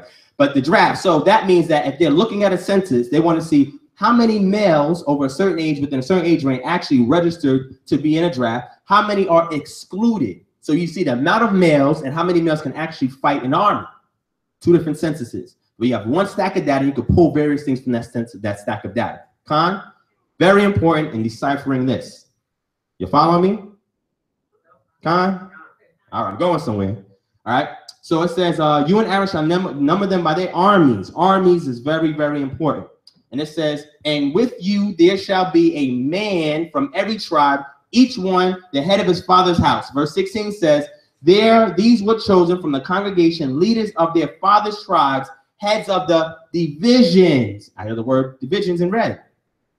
Wonder what word that is. Remember, everything that's in red is related. What? Really? But how come it says thousand here? It don't say thousand right here. Ah, get somewhere. Get somewhere. Numbers 144. These are the ones who were numbered. Now, mind you, it's the same chapter. These are the ones who were numbered after they went through all the different tribes, whom Moses and Aaron numbered with the leaders of Israel, 12 men, each one representing his father's house. So all who were numbered of the children of Israel by their fathers' houses from 20 years old and above, all who were able to go to war in Israel, all who were numbered were 603,550. Got the word thousand here again, but there's no numeral because there's no money being involved. So it's the same word here that we see here and that we see here. It's a word left. I have clan, family, human herd, but we're going to see if I'm correct. Number 2651, these are those who were numbered of the children of Israel. Another census, 601,730, or 1,000 is again. Now those who were numbered of them were 23,000, every male from a month old and above. Now this is referring to the Levites, verse 62. Excuse me, I should have said that. Now for the Levites, after they numbered everybody else in Israel, now the Levites. Now those who were numbered of them were 23,000. This is how they render it. Every male from a month old and above, for they were not numbered among the other children of Israel because there was no inheritance given to them among the children of Israel. So if they were not numbered, then how do you get 23,000? Interesting. Judges 6 and 15. Look at this. Remember I said context. So this is who who's in Judges chapter 6? Who's Judges chapter 6 about? What famous character in the Bible? No. No, somebody open up your Bible. Listen, it's an open book test. Let's look at the heading, Judges 6. Say it again. There you go. Gideon. So he said to him, Oh my Lord, how can I save Israel? Indeed, my thousand, my thousand. Is that how they translated in the, in the, in the Bible? My clan, my family is the weakest in Manasseh, and I am the least in my father's house. But this is the same word as this, which is the same word as this, which is the same word as this. What? What? Say again. Say it loud. Their function. Functions, concrete things. It's the same word, different function depending on context. All right.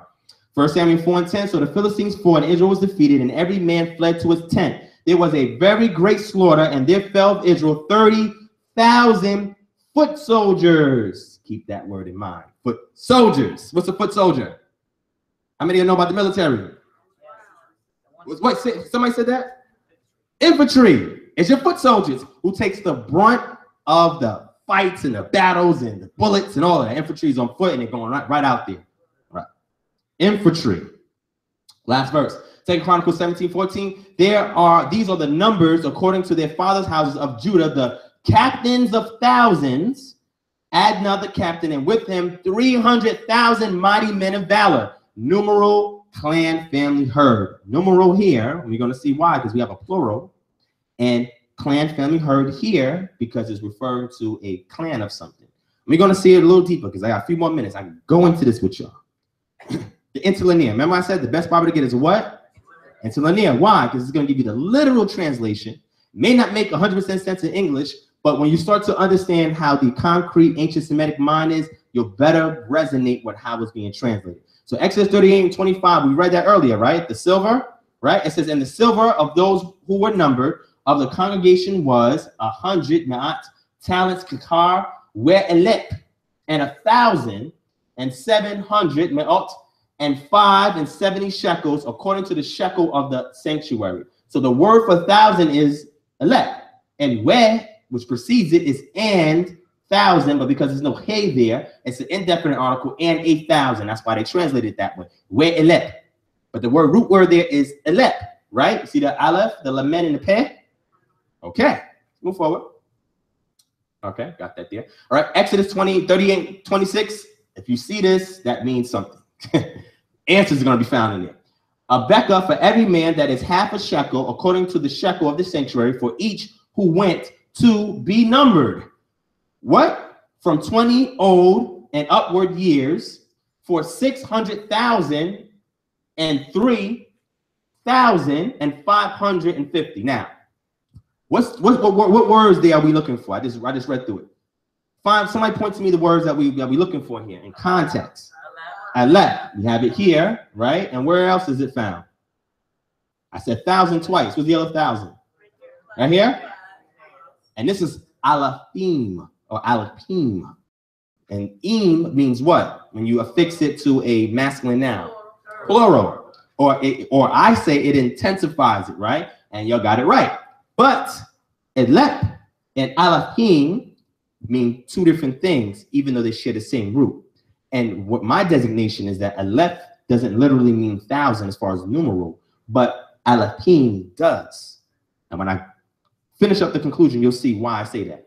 Numbers 1 and 16, these were children of the congregation, princes, the word nasi means prince, princes of the tribes of their fathers, heads of divisions in Israel, they were. Aleph, Lamed, Peh. And they translated that as divisions, not thousands. Interesting. That's interesting. Okay. Got divisions. Move forward. Numbers 146. I have this here. That's very important when you see asterisks, right? And were even all they who were numbered six says hundred melt elep and three thousand alafim or alapim wahames and five meot hundred and fifty wahamisim. Very important. But what are the two words that we're looking for here? And I said elep singular is what? Empirical data, concrete senses. Clan, family, herd, kind. Doesn't literally mean there's a numerical value to it. Has to do with a collective sense, collective noun. And alapim, I said, means what? More of a numeral sense because it's plural. And that's what it is. And these are all keys. When you see this word, like I said before, I always teach us words is very, very important. And you start to see trends. And when you can pick up and identify the trends, you can make sense of what's going on. All right.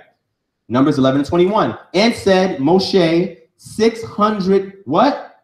Thousand footmen. Somebody have Exodus 12 and 37? One person, just keep it, keep it out.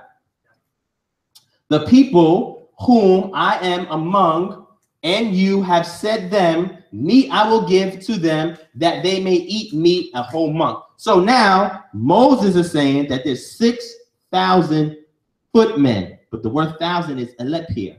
And ragli means footman. Or ragli means footman. Ragli means footman. Interesting. We're going to see this word in Exodus 12 37, but they're not going to translate it that way. Elep, thousand. Okay, let's move forward. What does ragli means? And I put it up here for y'all to make it easy.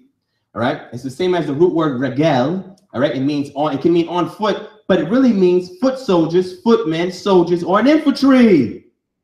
And it says here in a Brown Driver Briggs, which is another lexicon that you guys can get, footmen, especially foot soldiers.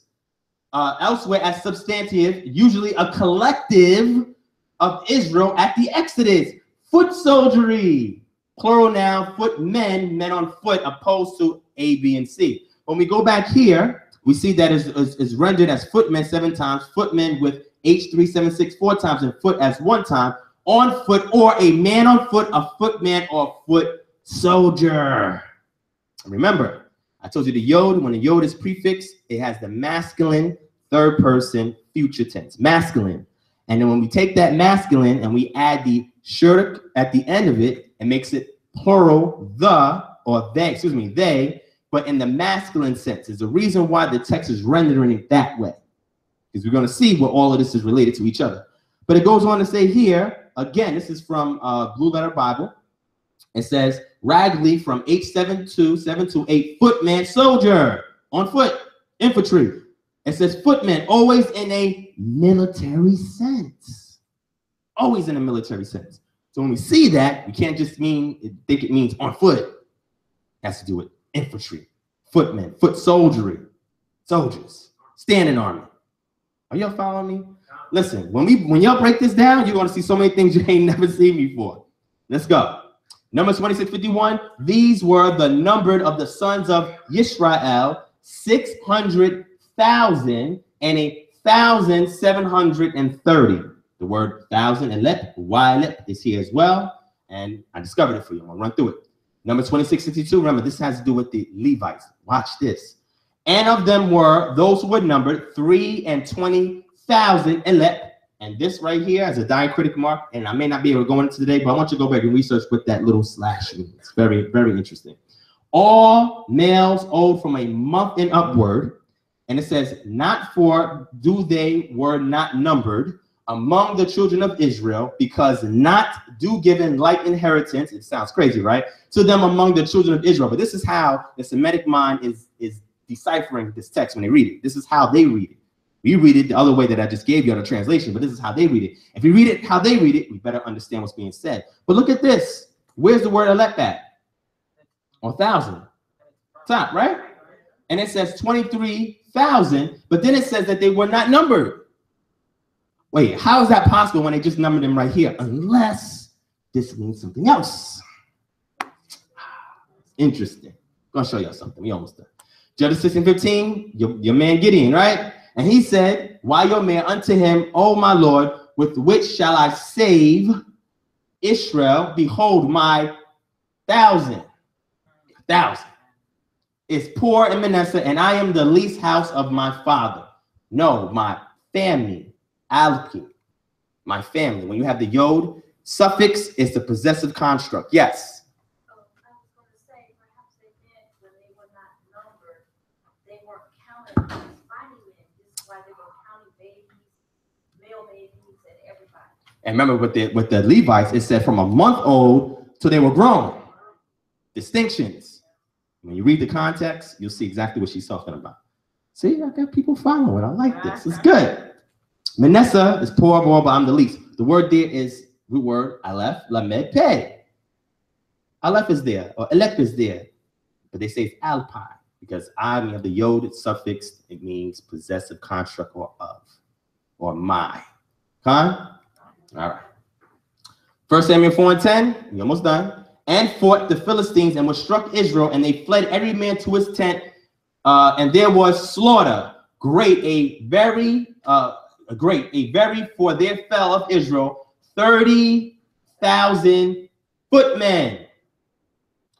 Elep, Ragli, Elep, 30,000 footmen, thousand footmen. What's, let me see. Y'all see that on here? Y'all see that on here somewhere? Oh, y'all see it? Ah, but I wonder if your English translation is saying that. Okay, we gonna, get it. And these are the numbers of them according to the house of their fathers of Judah, the captains of thousand alapim. Remember, that means intensive of the numerical form of the clan, which can which can literally mean a thousand, right? The chief Adna, because sometimes even alapim is just rendered as the word thousand, not even thousands with the S. Interesting. The chief Adna, and with him mighty men. Mighty men. What is the word for mighty in Hebrew? No. Gabor. Gabar. Gibor. Mighty, powerful. All right. Um, this is Gibore of Valor Chayil. You know, we see uh Proverbs 31 called virtuous. It's really valor, strength. Chayil, 300,000 elep. 300,000. Second Chronicles 17, 14. So if Alapim here for thousands, he was the captain of thousands, but yet there's 300,000 here. Thousands, plural, Alapim, Alep, single, thousand, or maybe there's another way to interpret that. Interesting. But look up, keep in mind, mighty, thousand, and thousands. Alapim, Alep, and Gibore, or Gibor, or Gabor. All right. Strong's 1368, this is for Gibor, which we just saw. It says mighty, mighty man, strong, valiant. Mighty, mighty man, strong, valiant. Keep that in mind. Strong, mighty, a strong man, a brave man, a mighty man. Gebore, Gebor, short and intensive from the same as H1397. Powerful by implication, warrior, tyrant, champion, chief, excel, chief, excel, giant man, mighty, strong, valiant man. Okay. It says here, H1397, Geber. Geber means man, mighty, man child, everyone, but it goes on properly, a valiant man of a warrior, generally a person, simply everyone man who is mighty, a man, virtuous, so-called from strength, a word with few exceptions. Okay. And the root is Strong's H1396. Gabar, which means to prevail, to strengthen, great, confirm, exceeded, mighty. Remember I said when you look at these, you have to see what stem, what verb stem is in, so that you understand what's going on in the sentence. But it means to be strong minded, to prevail, to give strength, to show oneself mighty, to even act proudly towards God. You think you're stronger than God, right? It's come from a primitive root to be strong by implication, to prevail, act insolently, exceed, conform, be great. When we read here, and this is the, the Gen- uh, Gesenius, I don't know why I keep messing it up, uh, Hebrew Chaldean lexicon, it says the primary power that is binding, kindred, to bind up anything broken, to make firm. The, the significance is applied to power and strength, to work, to make, which appears to be derived from power and strength of an enemy prevailing against you. Water is prevailing against you. All right. And the Piel sense is to make strong, robust, to strengthen. His field sense is to make strong. It goes on to say prevail again. Why is all this important? Because when we jump to the Brown Driver Briggs, which is another lexicon, so we went into this lexicon, we went into this lexicon, we're not even dealing with the Strongs. It says a man that's strong, distinguished from women, children, and non-combatants whom he is to defend, and is chiefly poetic. That's very important. Think I see it up here somewhere. Conclusion. What is the academic justification for me going to all that information? Well, if you go to Associates of Biblical Research, a letter was written to Brian G. Woods, who is a PhD archaeologist, and uh, the question was, how many Israelites left out of Egypt, right? I'm only going to read what's in the yellow for the sake of time. He says, another way possible to estimate the number of Israelites who left Egypt is by means of the number of captives the Egyptians acquired in Canaan four years after contemporary two, which amounted to circa 100,000. Interesting. Okay, let's see what he's talking about. At heart, the issue is the meaning of the Hebrew word elef. It is usually translated thousand, but has a complex semantic history. Semantic has to do with the meaning of words during periods of time, various cultures, etc. The word is etymologically connected with head of cattle, like the letter aleph, implying that the term was originally applied to the village or population unit in a pastoral agricultural society. From that, it came to mean the quota supplied by one village or clan, mishpaha, for the military muster, malamat. Originally, the contingent was quite small, 5 to 14 men in the quota list of numbers 1 and 26 as shown by Mendenhall, which is a, a, a, a literary technician who was actually looking at the text and deciphering it along the lines of the concrete function of the word. Finally, the word became a technical term for a military unit of considerable size, which together with the use of the same word for the number 1,000 has tended to obscure its broader semantic range. When you don't understand the culture, you're going to be thinking abstractly when translating the text. And a lot of English translators, that's where they fell short. They're not keeping the at the concrete mindset of the ancient Semitic people when deciphering the text because they're not connected to the empirical reality, but they're connected to the abstract reality. Hence why a clan in the literal sense is a herd or group or family, but in the abstract sense, it's just a number. It's, it's, it's a reason for that, right? But he says something here. Egyptians acquired in Canaan four years or contemporary to the amount which is a hundred thousand. Remember, I went into history earlier, and how many how many captives that I said the Egyptians or Amenhotep II took in the Second Asiatic campaign? How many people did he take? One hundred thousand. So maybe if we retranslate this appropriately and the way it's meant to be translated, the way our ancestors transmitted the information, maybe we'll see that it's actually in alignment with the archaeological and historical record.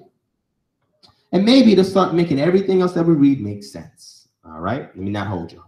Now I just went over the, the language with y'all. So the methodology for a better translation of Exodus 12 and 37 take into account the cultural, linguistic, historical, and scriptural evidence that I provided with y'all. And y'all got to do this on the fly, right? Y'all can always go back to the video and read it and go back to it yourself. But I want to see how good y'all are on the fly. Because remember, I come across people all the time and I got to respond on the spot. That's heavy. But I'm showing y'all how I go through my methodology, right? I went, what was the first method I went through? I went through the what analysis?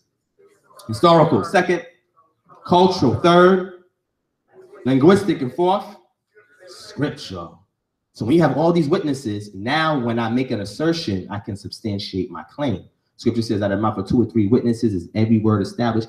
Any witness I can get from a vantage point in regards to a claim, I want those vantage points. How many people in here work with law, courts? All right, now got I got to put him on the scene because he just raised his hand. Testimonies. How important is expert witness testimonies and firsthand testimonies? Extremely important. And is it the more the better, or no? Does that work for or against, or does it depend on circumstance? just in general, it works for the more the better. Why is that? more, more witnesses. More witnesses. So that means you have more vantage points of an event that occurred from people who were eyewitnesses, correct? And yep, and in Israel, you need two or three witnesses. So if somebody made an accusation or an allegation, the only way that person can put on trial is if we have witnesses to see it. Today, we don't really need that because we got recording, we got TV, we got our cell phones, we got text and email, so we have other witnesses. But during those times, you can't just accuse somebody of something without witnesses testifying that that act actually occurred. So a lot of sins actually went under the rug, but some sins were caught. So you got to you kind of see some of the issues that happen here. You know what I'm saying? But it was done so that way you have some form of justice, right? Just because somebody made accusation against you, if there's no other witnesses, they could just be saying it because they got an order against you. They have a beef against you. When they put the Mashik on trial, they had to get more, more than one witnesses because the first witness was just lying. They're just lying. Did not corroborate, nothing like that. What if you have two testimonies in court and both vantage points say something totally different? What do you do with that case? Impeach them. Don't matter. There you go. Very important. This is why I use multiple witnesses. But when we take into account the cultural, linguistic, historical, and scriptural evidence, transliterate consonants and add vowels so that way we can phonetically pronunciate what we're what we're looking at.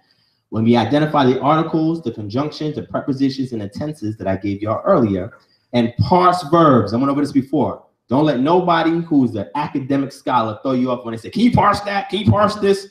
What does parse mean? I went over this before. Conjugate, what? Separate. So what you're doing is looking for the root and identifying the modifiers and seeing how everything's syntax together. That's all. Very simple. It's not deep, but they try to make it sound deep so that way they can put a distance between them and you. I went to school, I disagree, and you don't. Parse this. You don't know what that means. But now I'm giving you the secret. That's all it means. It's not deep. And when I gave you this section with the articles, conjunction, preposition, and tenses, all of these things parse or separates the various root verbs. Once you do all of this work, or once I did all of this work, then I went back to reinterpret the verse in its proper ancient Semitic context based on all of these evidences that I have here. Now, we're getting towards the end, so I need some volunteers. I need some volunteers. Nobody sounds happy about that. All right. what you say? All right. So please, I need at least four people to raise their hand. At least four people. Don't be scared. Man, the kids are beating adults. Come on, man. This is looking really bad. Hold on. You're gonna let the kids go out there by themselves? Yo, imagine there was a war, and it's like, yo, we gotta fight the enemy. And all the adults is like, uh, I don't know. The kids is like, I'll do it. Why do you think David was so? Why do you think David was so brave? He was a youth fighting against a giant by himself, and all the adults were scared. We can learn a lot from kids, and if you didn't learn, you can learn right now. All right, you? Okay. Them do that. oh man, I can start singing a song. Uh, what's the name of that song? Uh, start saying the children of the future, make them laugh and let them lead the way. Not literally all the time. Come on. All right, two, but they I still need some adults. Please, two people. Yes, one, another adult, please. It's not deep. I, I'll help you out if you need help. It's a test. Two. All right, come on. And those the kids can help y'all. So you can pick one of these kids in the back. Anybody else? Anybody else can join. They ain't, it ain't just got to be them. Anybody else want to join? Because I'll pick somebody. Shelly, and you can join the team. And one of the elders. Brian get a pass. Brian, there you go. All right, come on, Brian. They nominated you. Shelly and Brian. Um, one, two, three, four, five, six. All right, pick teams. Uzi, brother Uzi, my bad. Pick teams. Oh, my bad. Yeah, Bruce Wayne. Who we got? Batman right now? Which one we got? Batman? Batman. All right, Batman. Nah, right now he's All right. not ready. So where's the where's the markers at? Um, did I leave them over there? Somebody help me find the markers. You see, nobody's rushing to help me because nobody want to do this, but it's okay. I'm gonna find it. Yeah, yeah. Oh, okay. You, you leaders. You, you, you, you are the people they're gonna draft. All right. I want Yes, you're a leader. Look, I want the children. Oh, They're my children. He's working on draft. My first round pick. Wow, three adults versus one adult and two kids? Y'all better not lose. All right. Now, give you some help. Now, y'all can take out your one and somebody in your team has to take out a phone and go to Exodus chapter 12, verse 37 at either Bible Hub or blueletterbible.org. Oh, I'm glad I didn't push this. All right, go over here. Well, good. Go to Exodus chapter. Brother, I'm official. Yeah, he can help you. I've done, done everything today. He's like, give me a break, bro. All right, I'm gonna I'm gonna situate this over here. Okay, and, and uh, I'm gonna wait. Let me know when you're ready. So look at your notes. Hey, let me help y'all out real quick. Let me go back. I'm gonna help you.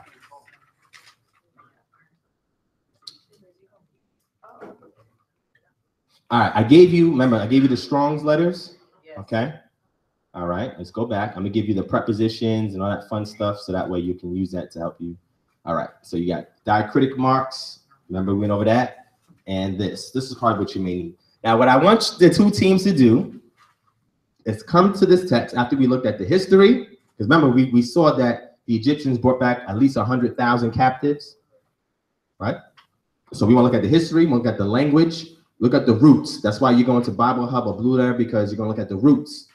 And then you'll look at the uh, modifiers when you parse the root verbs. And that's, I showed you some of these with the mem, the kaf, the wav, the yud, okay? Um, so in the, in the ha, so you can use these items and the Strongs will give you the names of the, the- either the nouns or the verbs, etc. So what I want y'all to do is I want y'all to translate this better than what you see in the Bible. Better or more accurately, right? And then I'll reveal to y'all which team won or is the closest, and then I'll show you my rendering, right?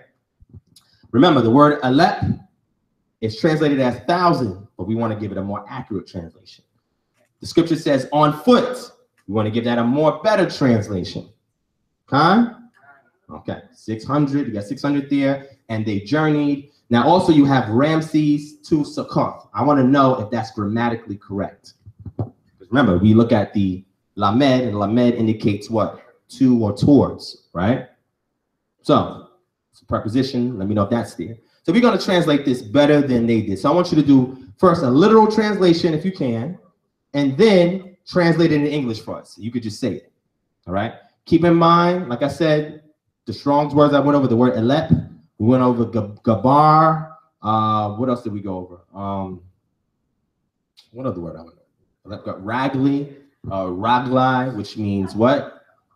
Foot soldier, etc. So if you can decipher it that way, you can see actually what our ancestors left for us in the record for us to understand that modern translators missed. Remember, they had all these problems, but we're gonna figure this out today. You can definitely show this to everybody that you know. Right? Okay, I'm gonna give you, y'all got one more minute. You already started? They haven't started yet. Uh, move down a little bit.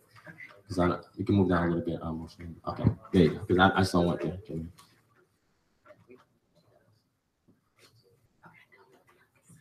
All right, so I'm gonna, I'm gonna help y'all. First thing y'all do is look for the root words.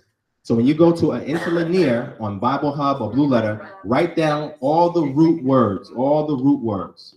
Once the root words is done, then you go to the articles, conjunctions, prepositions, consecutive while, third person. Then you locate these things. Now you can write it on a paper, and then you locate whatever you see these things at.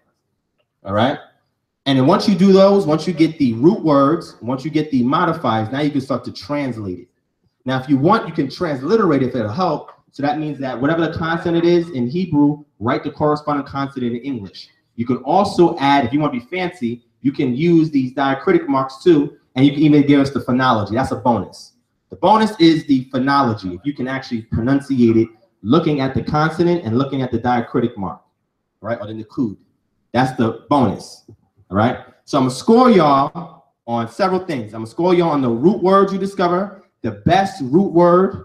I'm gonna score y'all on the articles, conjunctions, prepositions, consecutive third person that you identify in here. I'm gonna score you on your translation after you literally get the root word, literally get the modifiers, and then I'm gonna, I'm gonna rate you on the translation, and then the bonus is the phonology. You could do the phonetics of it and see if you could do that. Because all y'all are scholars in here. I'm gonna teach y'all how to break this thing down. Okay, you got another minute.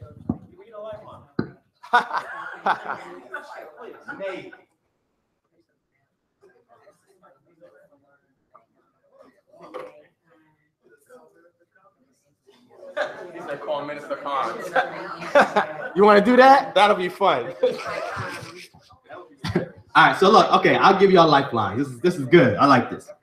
We could do 50-50. If you mess up something, you can get a lifeline from the audience, or somebody can call Minister Carnes. Hopefully he answers. If you don't answer, then you just messed up and get your chance. All right. Uh, what what other lifelines do they have on the show? And y'all remember that show, Who Wants to Be a Millionaire? Just give the answer. 50-50, lifeline, and what's the other one? Oh, eliminate something. Okay, gotcha. All right. So I, if y'all want the lifelines, I could give you the lifelines. All right. Wow, she took a lot of notes. Hope y'all wrote down a lot of notes. Oh man, look, we got still got this up here to help y'all.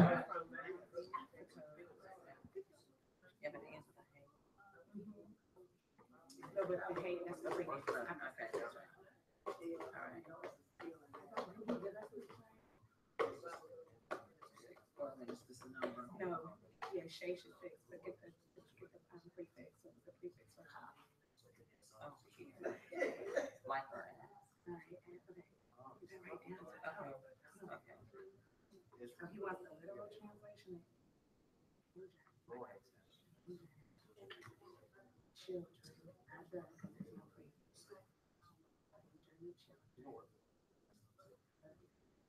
The yod can be, there's no, uh, uh, the yod can, I don't know. if you- This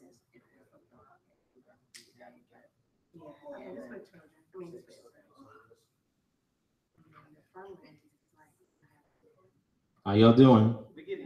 Okay. And to those that's viewing the live stream, I apologize that the screen is not that clear.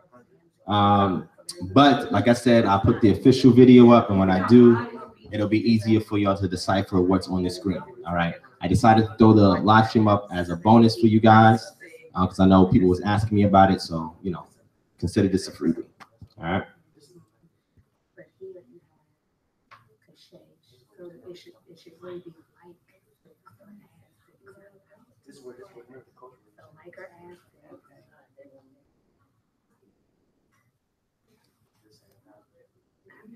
Okay. Let me see. Somebody give me a time count. What time is it? It's almost four o'clock, right? Okay, they got one more minute because I need at least five, ten minutes to wrap up. Oh, why they do that? I want to do one more thing. Hold on.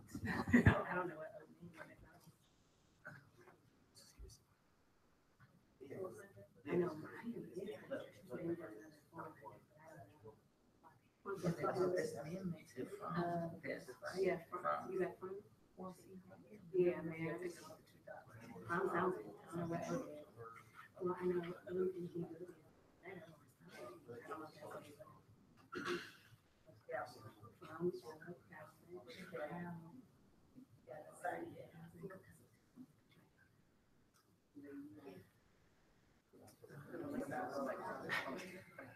Again, again.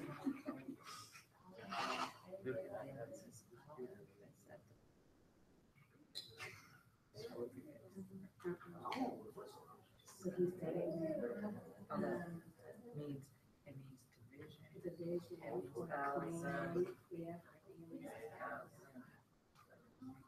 I don't know, I guess it was, it was a ritual.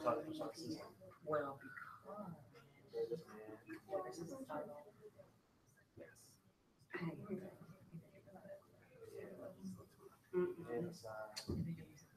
So how are we supposed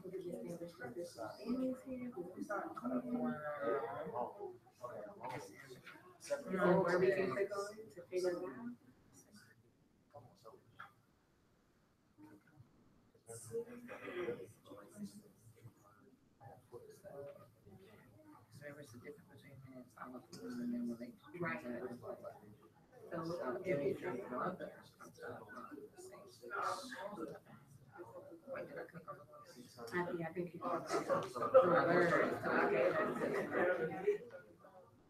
I made no crap.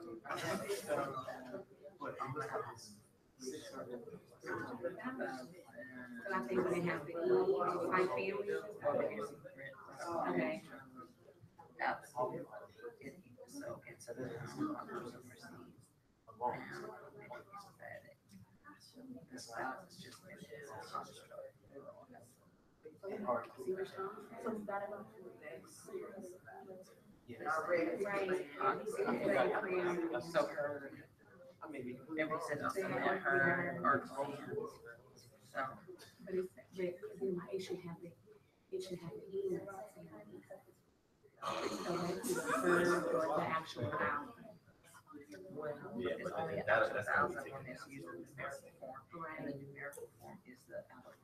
Right.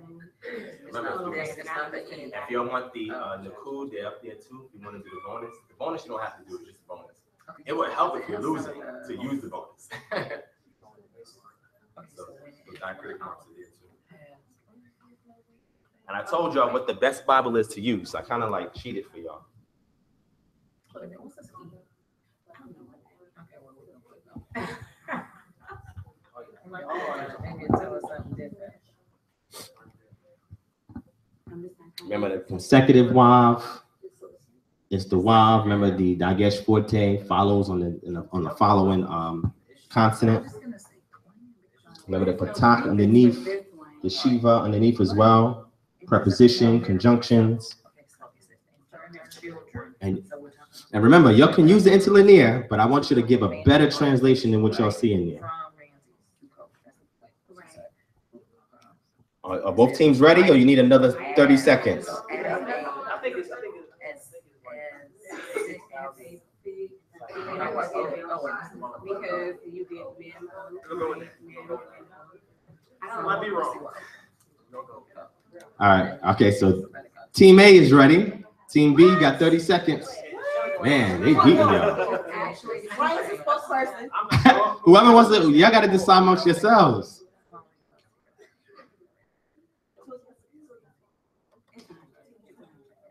This is not a democracy. A hundred times. Yeah, I can delegate. I would, I can delegate. In units, you- they're- It's your turn. Okay. Okay. Now imagine what I go through when I look at all of these passages by myself, trying to break everything down.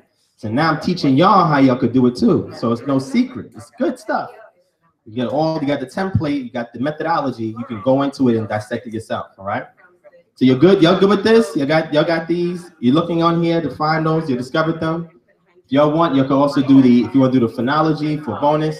No trans, but you can at least transliterate it. You can identify the characters, right? Y'all can identify the Hebrew characters, right? Y'all don't know the Hebrew characters? Right. Y'all can identify that, right? Remember, remember, they can help y'all too. We can, I can, I can go to them.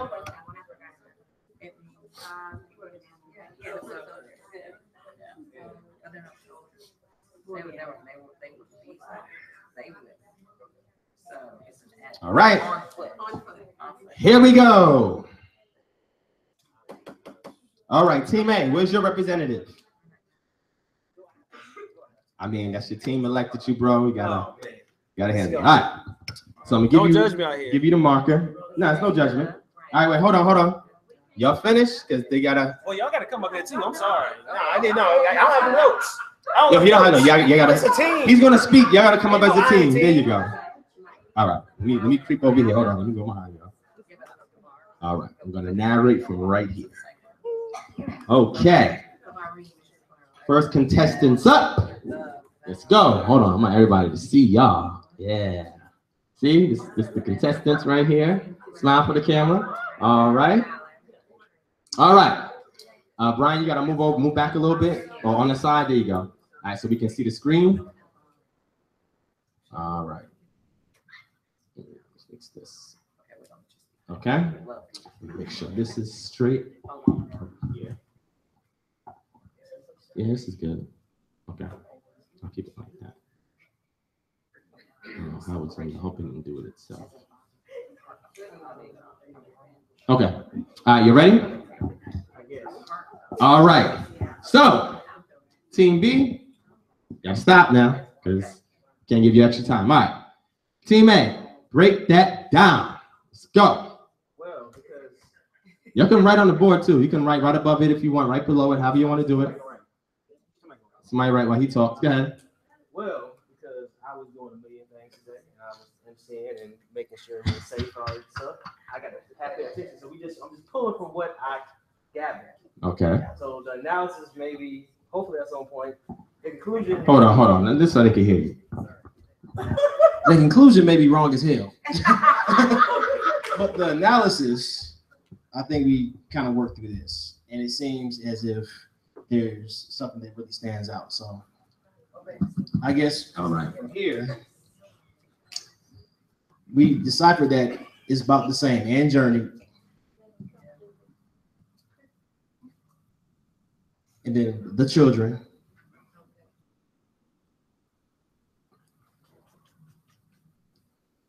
Of Israel. Don't talk about my hair. Wow, eat more chicken, huh? He's crazy. Um, right here, uh, from Ramses, because we, because we was, we, what we was doing was going through each root word to see if it was basically the same. Mm. It seemed like these are proper nouns, about the same right now. Uh, uh, to, to Sukkot. It seems, this is where it started to get kind of funny. S U C C O T H. Men. Hold on. I'm sorry. Take it out. Took oath. About six. And this is where it gets funny because this, uh, well, 100, 100 was next. And 100, we looked, we looked it up and it looked like it was an, uh, actually 100. The thousand, the elep, right here, it's elep. And then, of course, we from what Brother Divine Prospect was talking about and looking at the cultural analysis, uh, that's it's elep is not the actual numerical thousand. So it looks like 600 is there, but elep um, is either is probably a troop because the next word from there is foot on foot. You know, when we look at the, the root, remember foot deals with infantry, so it's a company. And then, of course, if you know Torah, it was only men that fought in the army, and the next word was actually men after that. So that's foot, and then men, uh, men. And the last part was basically the same, aside from uh, aside aside from children. Aside, I think aside from we got mixed up in the letters, but just trying to work through it. It seems as if a better translation probably be, and they, and journeyed the children of Israel from Ramses to Succoth. About 600 soldiers or men aside from children, or including children.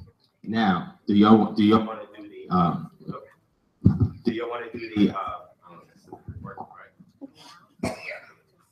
Do y'all want to do the um phonology? You want to do the phonetics, or y'all want to skip the phonetics? It's just a bonus. Do y'all want to do it? No.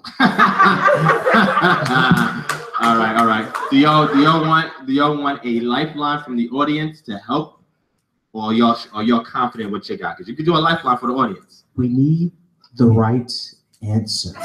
So is that yes? You want a lifeline from the audience? Yes. Yes. Okay, but you got to pick out a section that you want them to help you with the most. the whole thing. Nah.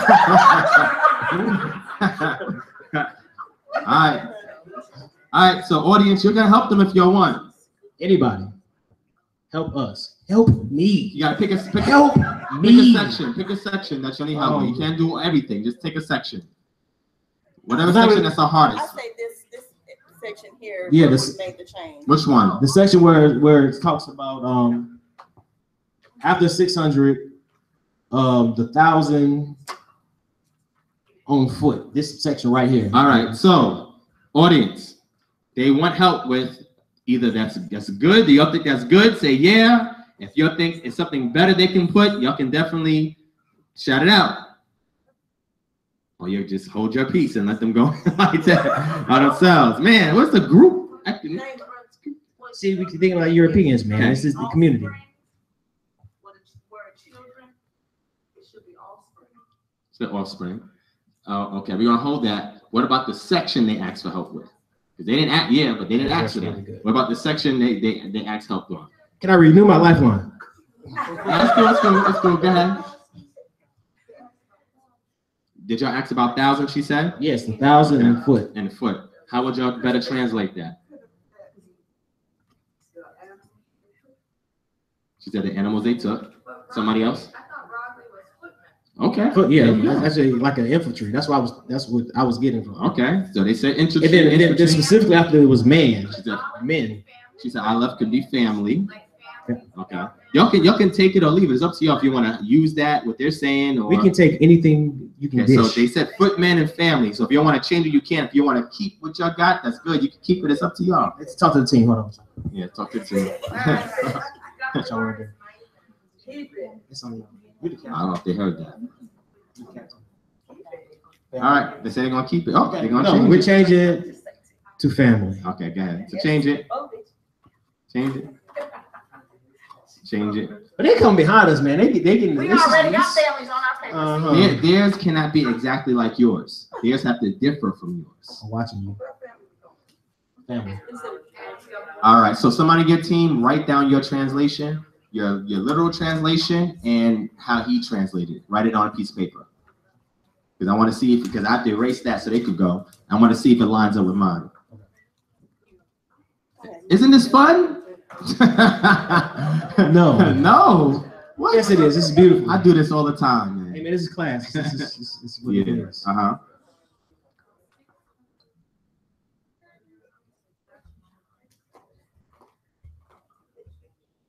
All right. Okay, so y'all can um yeah let her write the literal translation first, and then y'all can talk over your your regular translation, and I'll um This is called transparency. You're seeing Brother Uzi learn something right now.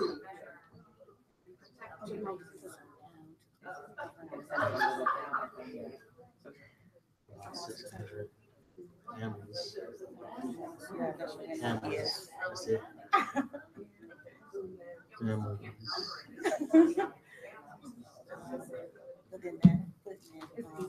Let's put the family on foot. And then And then aside from children. That's a lit, that's lit. Transliteration.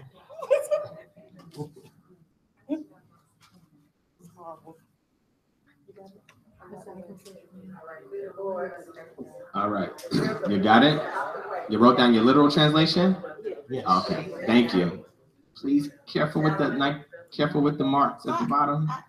Careful, careful, careful. Okay. All right. there we go.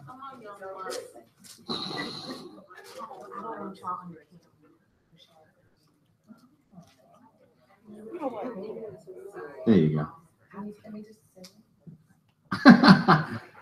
you got it? Okay. Careful with the marks. Careful with the marks. Ah.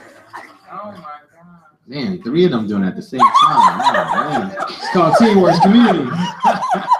We have indigenous community There you thinking. All right, y'all. Give them a round of applause for their attempt. All right. Yeah, go ahead. Any one of y'all. The whole team, y'all team can go up there. No, no, y'all hold on to that. I just wanna be on camera. You don't want to be on camera. So can you write for us? Do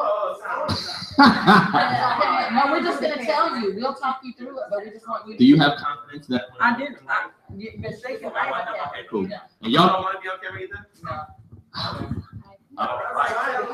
all right, all right, all right. All right. I'm gonna let them live. I'm sorry about that, Uzi and your team. I apologize. We need a microphone to tell you you what to do. Okay, okay. No, no, it's okay. It's okay. All right, where's the marker at? All right.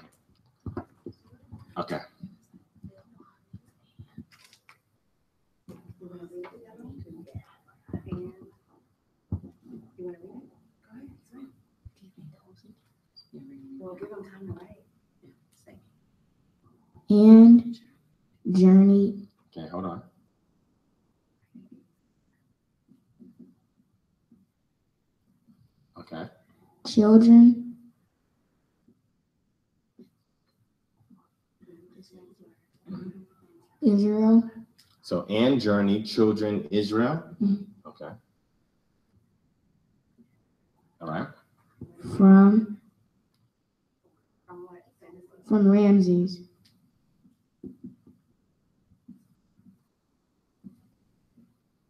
Sukkot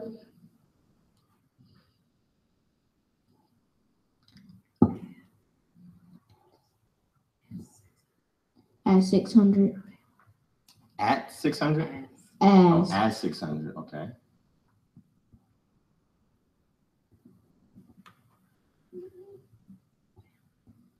Okay, families on foot families on foot? So families plural? Families plural? Yes. Okay. Okay.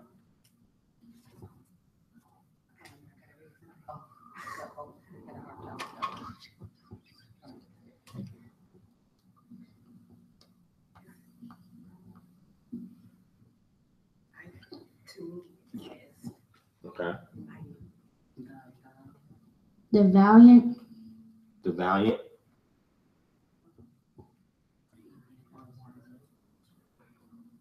The valiant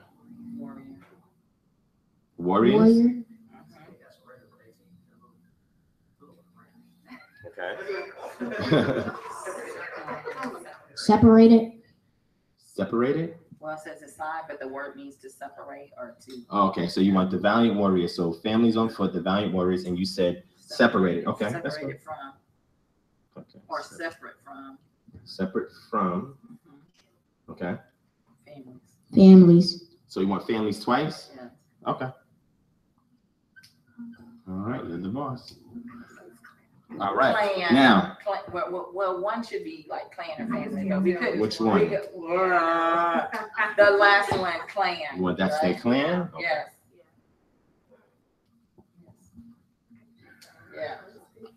Now, for those of you, has an aleph Okay. for those of you out there, do not look at the post on my page. It actually have my translation on it. Don't look. I should never said that, right? But you already put it up here. So you said this one is clan, right? Well, actually, the al, the aleph should be the clan and the other one should be Family? Okay, right? The, the the aleph one should be clans and the last one should be, but that wasn't the word for family, so anyway, it doesn't matter. All right. Yeah, that's right. Sticky. Yeah, it's the clan and family. All right. Now, you got to give these people credit because they deciphered a text without any formal education, just based off what I gave. All right. So, you guys, do you guys want a uh, lifeline, or you guys are, are confident? You want a lifeline? You, you like it? Still not sure about that, but it's- You have it written down, right? What's up Right, here? yes, yes. Okay. So, how would you translate that? Somebody in your team, how would you translate that? Because this is the literal, but how would you translate it? What does that mean, summarize it, you want to summarize it? And just read it across. Go ahead. Children of Israel journey, yeah. From Ramses to Sukkot. Uh, No, go ahead. Yes, you can do it. You can just summarize it?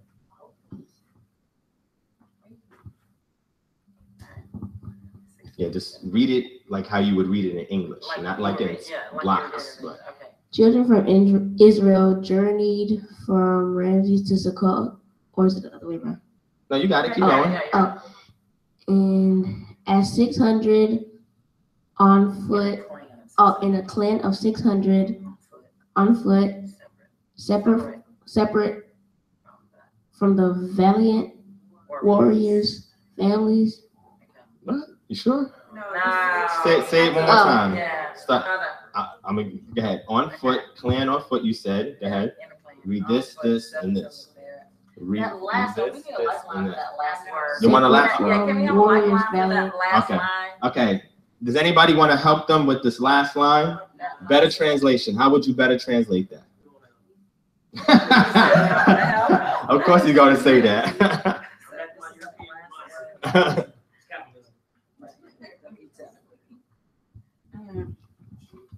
Yeah, the children of Israel journey from Ramses to Sukkot as hundred, as six hundred foot soldiers or foot, uh, uh, yeah.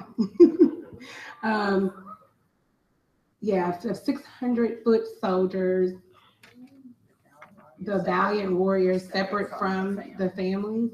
Okay. That's still. So you want to keep the families, right? Well, well, it says children. Yeah. You want children? What do you want? Which one you want? Because that No. word just. But what is children? It's not the word for children in Hebrew though, nor is it the word for families. I don't know what that is. Maybe offspring. I don't know. Okay. So we're gonna keep it like that. All right. All right. Cool. Cool. Somebody actually said the answer out there, but I'm not gonna. I- I'm gonna wait. No, that's not what they said. What? You'll see. Hey, uh, uh, uh, uh, uh, uh. Wait, hold on. All right. So y'all have this written down, right? Okay. Translate. All right. So I'm gonna. I'm Oh, gonna- stop. The warriors. It's too late. It's too late. It's okay. It's too late. Too late. Yeah. All right. Everybody, please give them a round of applause. They did a great job too. All right. Don't let. Oh, can I get that mic? Yeah. Uh, do y'all want to? y'all want to try it? The phonics? Yeah. I'll, I'll, I'll, be- yeah. Uh-oh. Yeah. Okay. Because we wrote down. Uh-oh. the word, right? Um, uh, my phonics is slow, so I won't read the Take whole time. thing. It's okay. Um, but, um, Or You can just sound it out. You don't have to say it. Wayisu, B'nai Yisrael, Uh-huh. Ma Ramses, Uh-huh. Sukkot, Okay. Kashesh, Uh-huh. Meot, Aleph, All right. Rag, Rag, Ragli. Uh-huh. Uh, hmm yeah, that's all I'm gonna read. All right. That's good. It's, good. it's slow. I don't want to make y'all. That's fine. All right. So they, they, they made an attempt. They got half of it. So that's good too. All right. Almost doesn't count. Half is better than zero. Hagabarim, okay, we're gonna There you go. that. Hagabarim, Yes, that is L- Labad, Uh-huh. uh, Mitap. There you go. Excellent. That's good. Wow, that's pretty good. All right. All right. Give him a, yeah, give him a round of applause. Okay. All right. We're, we're all a team together. Now, let me just, we don't have a lot of time, so let me, let me just, uh, I was gonna ask everybody together if they want to work together to do it, but we don't have a lot of time. All right, with, with, oh, thank you. All right, so let's, let's sum this up. Now, before I do it, let me make sure this is, uh, situated properly. That is getting both me and the screen. Okay, yeah, because I'm gonna look up right, right there.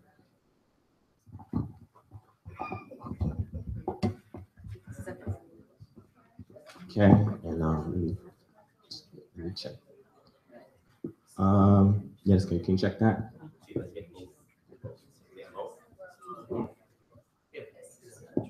All right, let me just go here, just zoom in a little bit. I don't know why it's zoomed out. All right.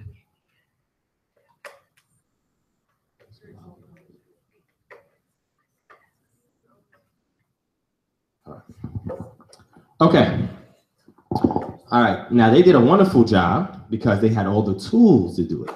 Now, the pronunciation, if you go to the interlinear, can help you out with the pronunciation as well. So we're going to decipher this, all right? So I'm going to show you guys. I'm going to get past this. Let me get to the conclusion. So, blah, blah, blah, blah.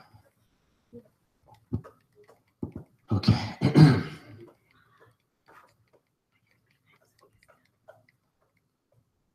I went over that. I gave you this, and I went here. All right. So this is what this translation says, right? It says, and journeyed the children of Israel from Ramses to Succoth, about 600,000 on foot, men aside from children. All right. This is why Yisu, then the root word is nasa, which means to set out or to uproot the children Bene Yisrael of Israel from Ramses, Merameses, Succoth, Tath, and that N is a A-H. So Sukkot Tath. Now Sukkot is what? What does that mean? Uh, tabernacle, tent. Now somebody I was speaking to had made a mention and they said, oh, does that mean does that mean Sukkot? And I was like, yeah, it does mean Sukkot. But when you have the I at the end of it, is the feminine singular, and it really denotes it as a name as opposed to a physical tent, right? So Sukkot is the root word here. Sukkota, keses, meot, elep, ragli, chaga barim, lebed, or lebad, mitaf, right? So, and journey. Now, I'm gonna decipher it as we go through it so you can see that this is not an accurate translation, all right? So, um, I'll do it on the screen. First of all, this is a consecutive wav, right? It, it doubles as a conjunction and a consecutive wav because in a narration sense and it's a conjunction, right? So this should be and. You have the dagesh forte right with the uh, yod, which indicates we're looking at a uh, conjunction by itself, which is the wav, and with the dagesh forte, it's the narrative sense or the consecutive wav. So I said when you have the shurik at the end, that indicates uh, when it's when it's linked with the yod, indicates they. If the yod is by itself, it would mean he. The tense will be will. He will, if this was by itself, but when it's together, it's they will. But when you add this consecutive wav, it negates it from they will to they already did the action. The root word is nasab, which means to set out. So it says, it should say, and they set out or journeyed, and they journeyed. It says, and journeyed here, but they're not taking into account the yod, and they're not taking into account the shurik with the uh. It should says, and they journeyed, or and they set out. That's what it should say. So as you can see, it's just and journeyed. So even the trans the, the um literal translation is not even correct, right? It says children. Now here it says the children, but there's no definite article. So it's not the children. It's bene. When you have the yod as a suffix, it's a possessive construct. It can mean of or my. So it should say children of, it should say children of, right? Or it could be offspring of, or the seed of, well, zera is more seed, but it could be literally the offspring of, right?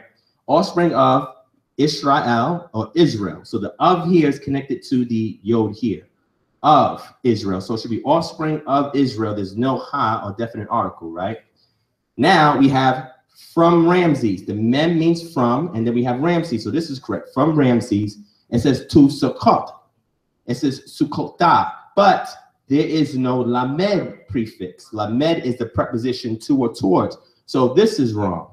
It should say from Ramses Sukkot. But what happened is, and the translator looking at this and said, well, that doesn't make any sense because in my abstract mind, has to be from one point to another, but they don't realize in ancient times, this was considered one route.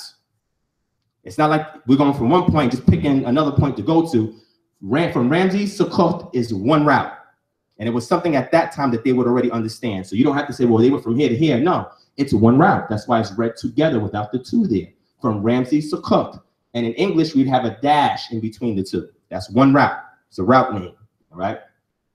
Now we have here about six. Now, about is very important when we get to the conclusion because I don't really have a lot of time. But this is the kaf with the Shiva. The kaf means what? Like or as. And you can say about too. About can kind of work. But more literal would be as. I'm gonna show you two different translations. As six. Kisses. As six hundred. Me'at hundred, and this is a literal numerical value, so that's cool. And then we have elep, which is thousand. Now I said that does not mean the numerical form of thousand. So this would have to be translated to clan, division, family. Somebody said family, clan, division, or family. More so clan in the sense of a collective noun. Okay.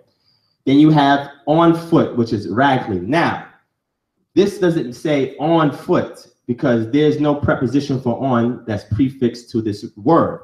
So it just means foot. And if there's no preposition, then that means it doesn't mean foot, 6,000 foot. That doesn't make any sense. So this has to mean something more than just foot. And since it's a collective noun, just like the alep is a collective noun, it would be foot soldiery or infantry. Infantry, okay? Foot soldiery, literally, or infantry. Then you have Hag Gebarim. Hag prefix is the what? No, the, the prefix. What is the ha? It means what? The, the, and then Gebarim. is the mighty men, valiant men, men that are strong. So not not just regular men that's there, because all the men are not going to be valued. The strong men. Got it? Got it? Okay. Now we have lebad. This le, le or is a preposition meaning what? To or towards. And bad means what in Hebrew? Separate, but more literally. Somebody look that up. 905. It begins with a P.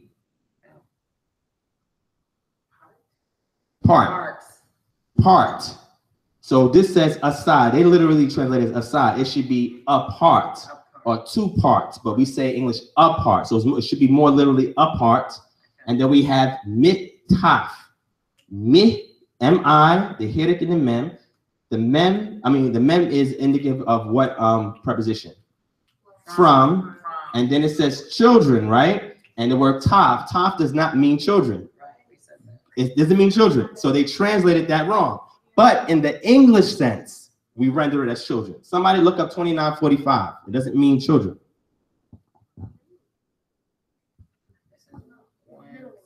What? Little ones. What's the root word? Click on the root, the etymon. What's the root? The root gives you more of a literal sense.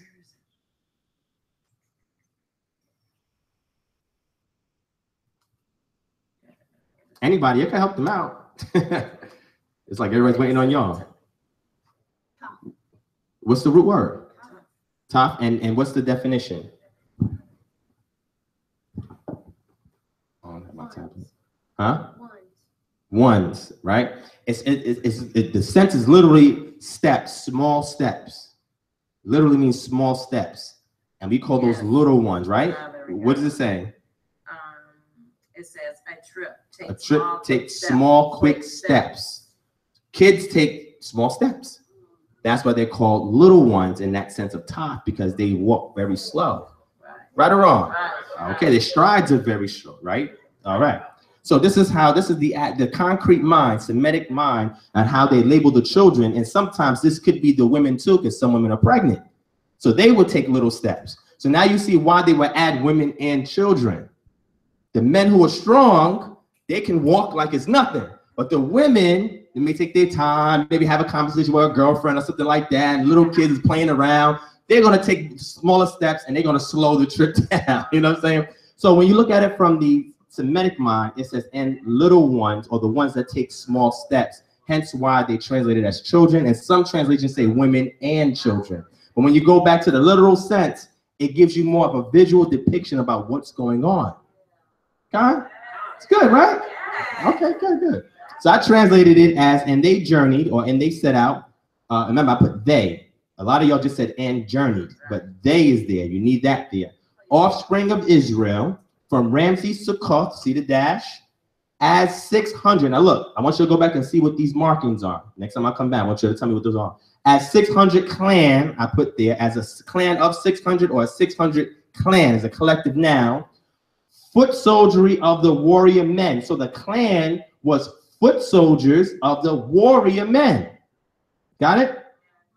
Apart from little ones or the ones that take small steps, aside from the ones that take small steps. So this is how I translated it, right? I don't have the word thousand anywhere in there. So now you're gonna say, well, if you don't have thousand in there, how are you giving us a visual of how everything was set up? Well, we're gonna get into the conclusion with that. Here's the conclusion. This is my summary based on how I deciphered everything. And this is the last slide. I think it's, yeah, it's the last slide. Summary is it was a clan of about 600, according to Exodus 12 and 37, Numbers 1 and 46. Somebody get Numbers 1, 46. I'm gonna show y'all this. It's, it's, it's deep, but it's not deep, right? All right. So Exodus 12 and 37, which we have up here, and we can we can write that out here. Numbers 1 and 46. Numbers chapter 1 is going to answer this question for you. How many Israelites left out? And you're going to see it lines up with the historical account of how many captives that the Egyptian Pharaoh took back. All right, yeah. Read Numbers uh, chapter 1, verse 46.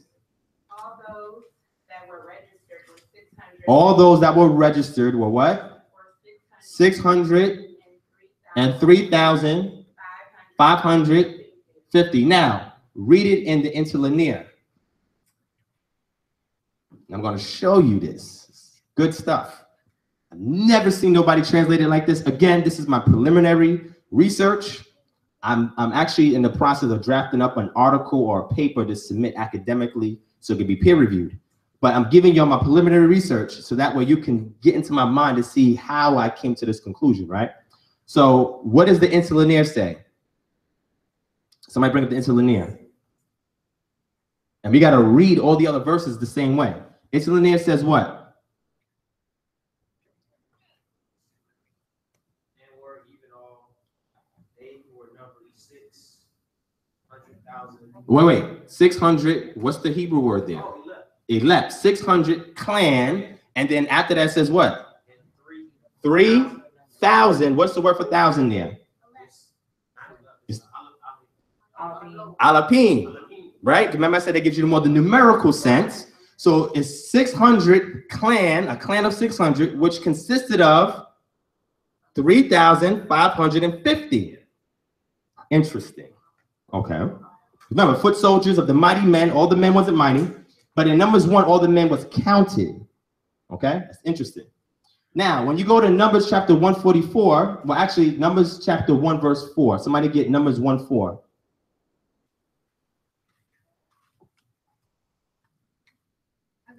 Got it. hmm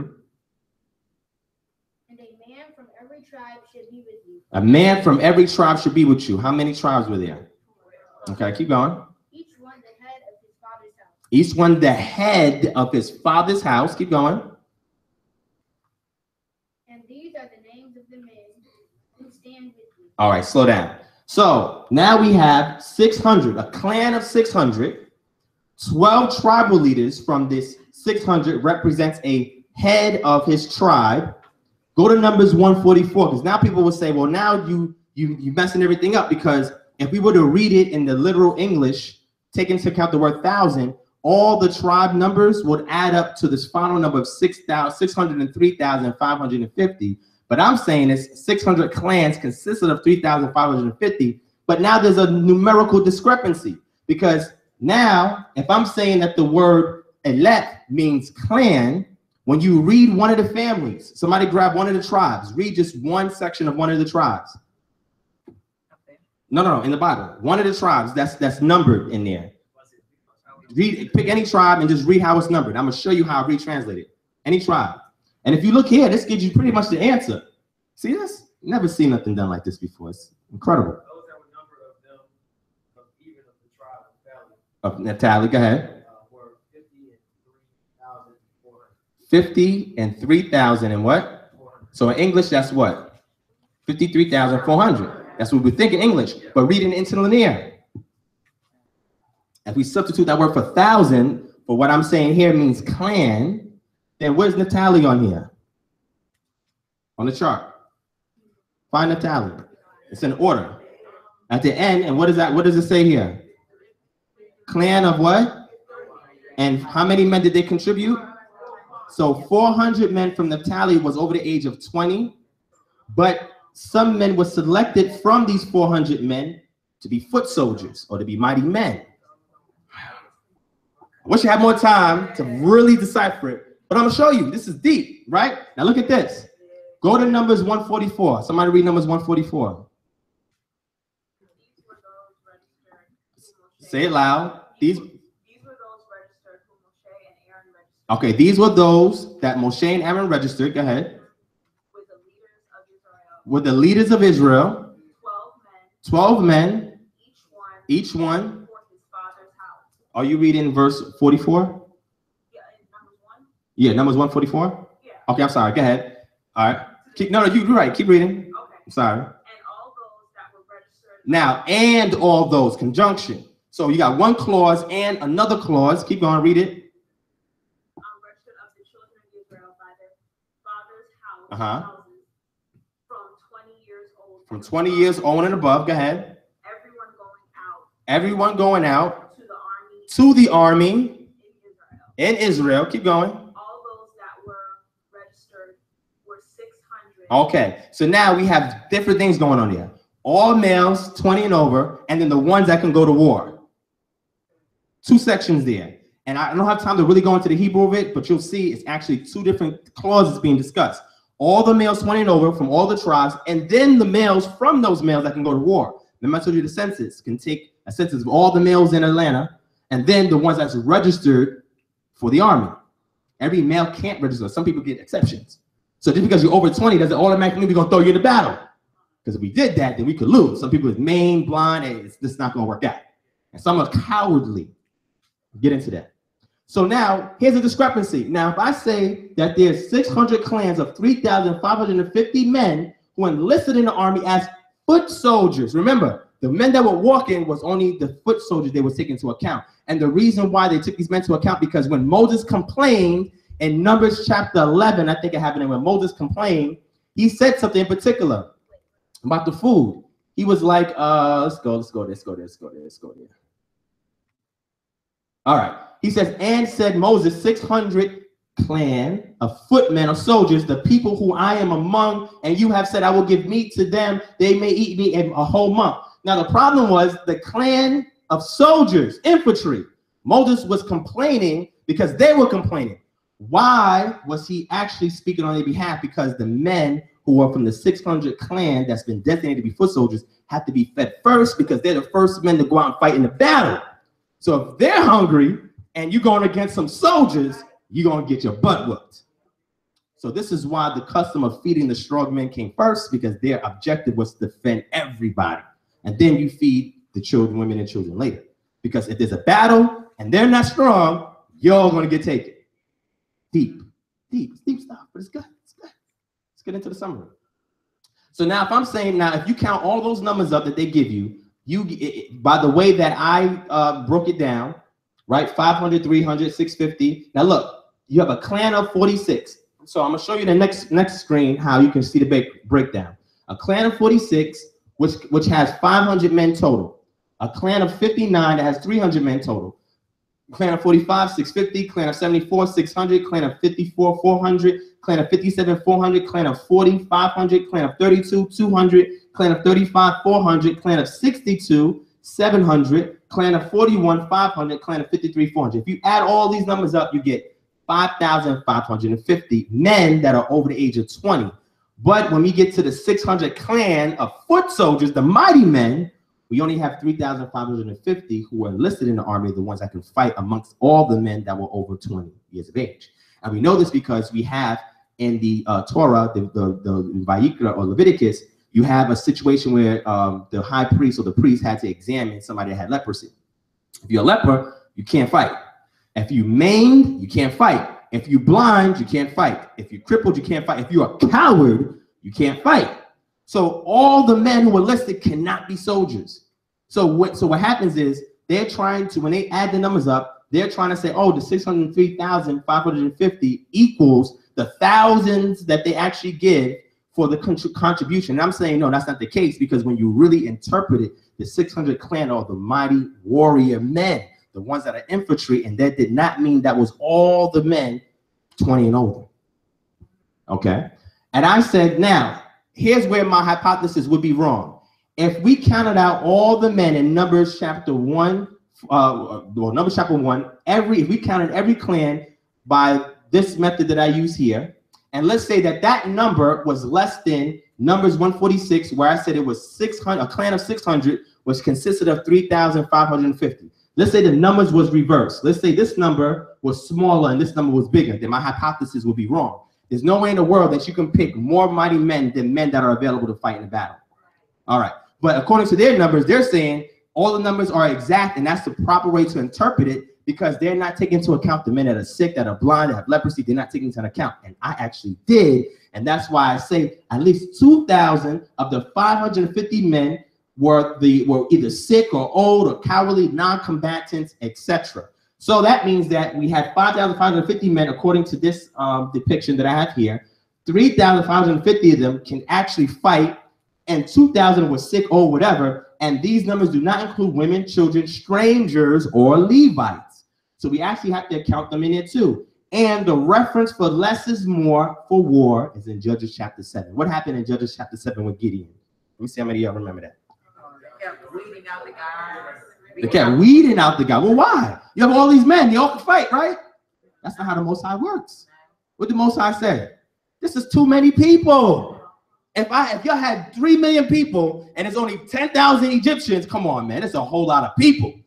So if you got a lot of people, they're not gonna run away from you. Why do I even need to do any miracles when you could take your time? They can't take all of your back. But if you see that there was much less, now you understand why a miracle or divine intervention had to take place to protect the Israelites.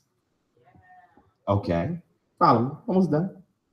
So, being that this is my breakdown, I've never seen nobody break this down before, and this is why I'm submitting that paper because today scholars are debating. They're trying to figure this thing out, and actually, I'm actually giving them a solution, Try to help them out, right? Try to help them out by way of the Most High. So, I'm gonna give you an example. So, let's say this is the 600 clan of fighting warrior men, right? Then we break it down to tribes, right? You got tribes. So you got the 600 fighting the tribes, the tribal leaders, and then under those tribal leaders, you have the subclans of the families, and then under those, those subclans would be what? The men. That's that the, the men that's 20 and older, and then under those men are men that can actually go to war.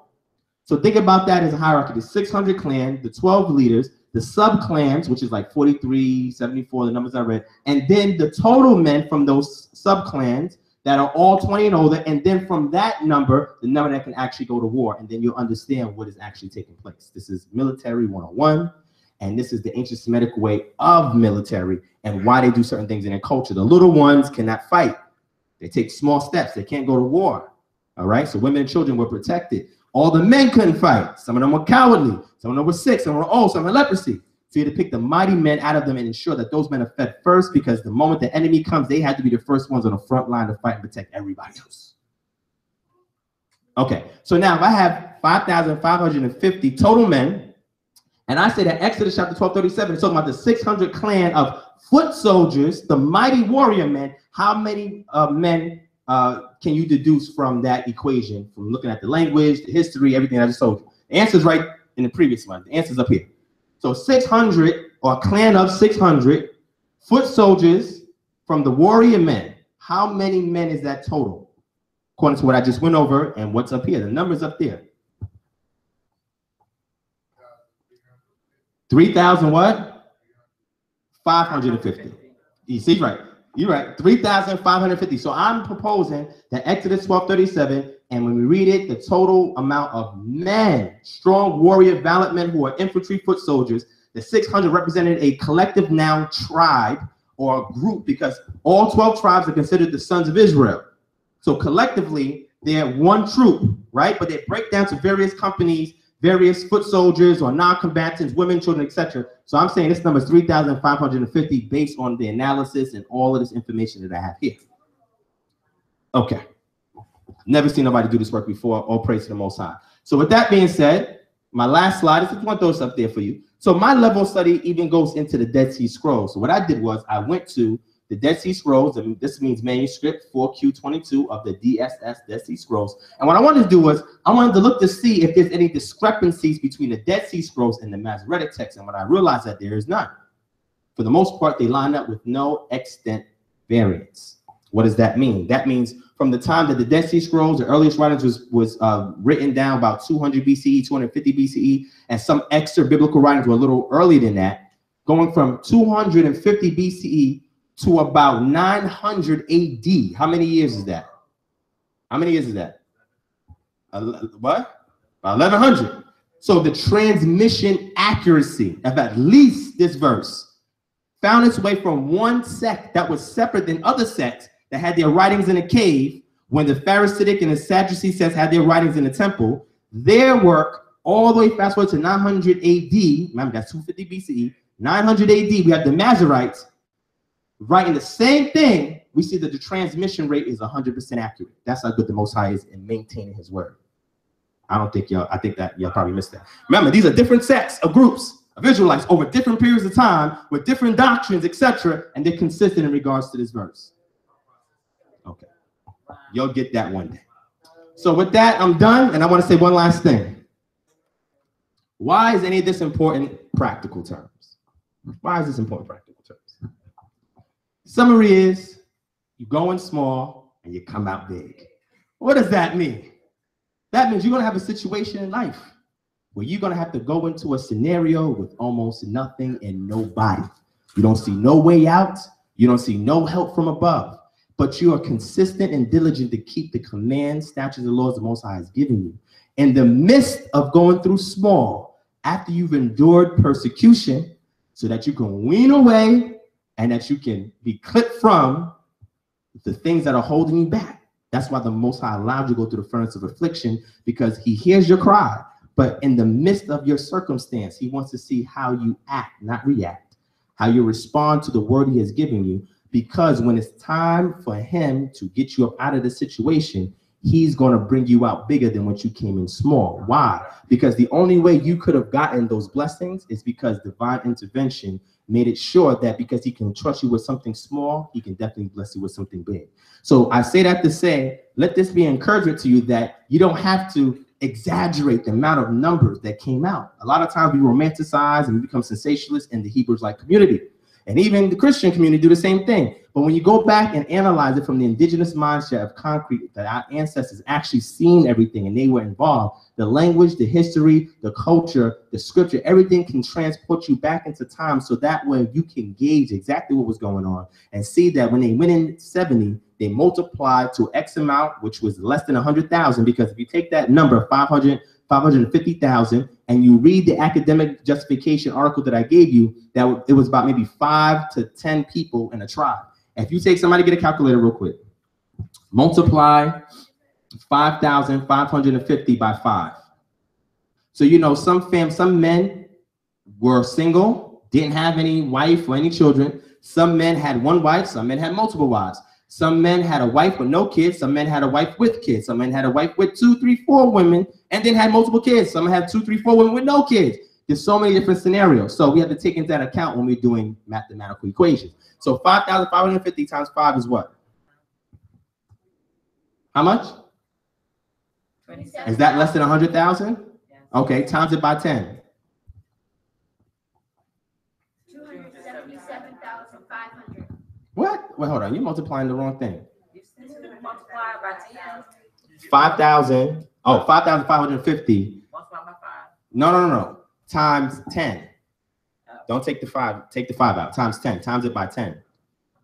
You're throwing me off. 'cause I know. Okay. I'm a, and then times it by 15. Eight hundred thirty-two thousand. What? No, do it again. 15 times 5,550. How much? So remember, they said that a family or clan at the minute levels had at least maybe four, maybe one, maybe none. And then from, from four, the most extent would be 14, 15. And that's the that's looking at the Semitic evidence in Canaan in regards to family clans and their tributes to the kings, the magistrates, etc. So it was mostly four at minimum, and at maximum would be 14 or 15. So if we take into account there was 5,550 men, and we were to take into account who else? We're talking about the fam, their family. Then we have to leave some room over for the Levites and some foreigners. We don't know how many foreigners were there. We don't know. But the amount of foreigners that were there were not enough to deplete uh, Egypt to a point where they had they did not write about it. The reason why the Exodus was not much of a big deal is because three million people didn't leave. If three million people left, it'd be all over the walls of Egypt. But if you only have what 80,000 people leaving out, and you have three million already in Egypt, and your workforce is just leaving, you're gonna be a little upset as a pharaoh. You may not put that on the wall. Listen, it's gonna make me look bad. I may not get reelected. I'm just joking. You know what I'm saying? They may not, they may kill my kids. All the people just leaving out. It makes me look weak. I'm not gonna put that up there. What I'm gonna do is show them I'm strong. So I'm gonna go back into Canaan and take what I lost: the booty, the spoils, the silver and gold, the chariots, the people, and bring them back. So that way, when we look at the text in its ancient Semitic worldview, based on context, history, language, uh, culture, we see that when we group everything together, nothing is out of whack. The scripture is 100% right and exact. And when we take that and we bring it to academia, to the secular realm, to any other community that decides that they want to come up against the Most High's word, we can show them the accuracy and the witnesses that attest to the accuracy of how strong and powerful and trustworthy the word of the Most High is. So with that, I say, I love you, family. Shalom, peace, black power, and later tov. Hallelujah. All praise to the Most High. Man, give brother uh, Divine Prospect another uh, round of applause, man. Y'all. I don't, I don't think y'all understood what just happened, baby. Like just on the prep, like not even just the substance. He just basically gave you a college level class for free. like cats pay thousands of dollars for stuff like that, and you know because he's a, he's a vessel, he's a servant of the Most High, man. Y'all got it for free. Um, just wanted to thank everybody for coming out today. Um, shout out to Minister Carnes and his wife. They're celebrating the anniversary. That's why they couldn't come out. So you know, that's that's that's love. That's black love. That's Hebrew love. Clap for that. And, then I'm not gonna hold you up too much longer because we are hungry. We're about to eat. So I'm gonna have. Um, oh, oh, no, I'm I'm I'm, I'm delegating. I'm delegating. Can I have um the young one come close it out, bless the food, and um we can wrap this thing up.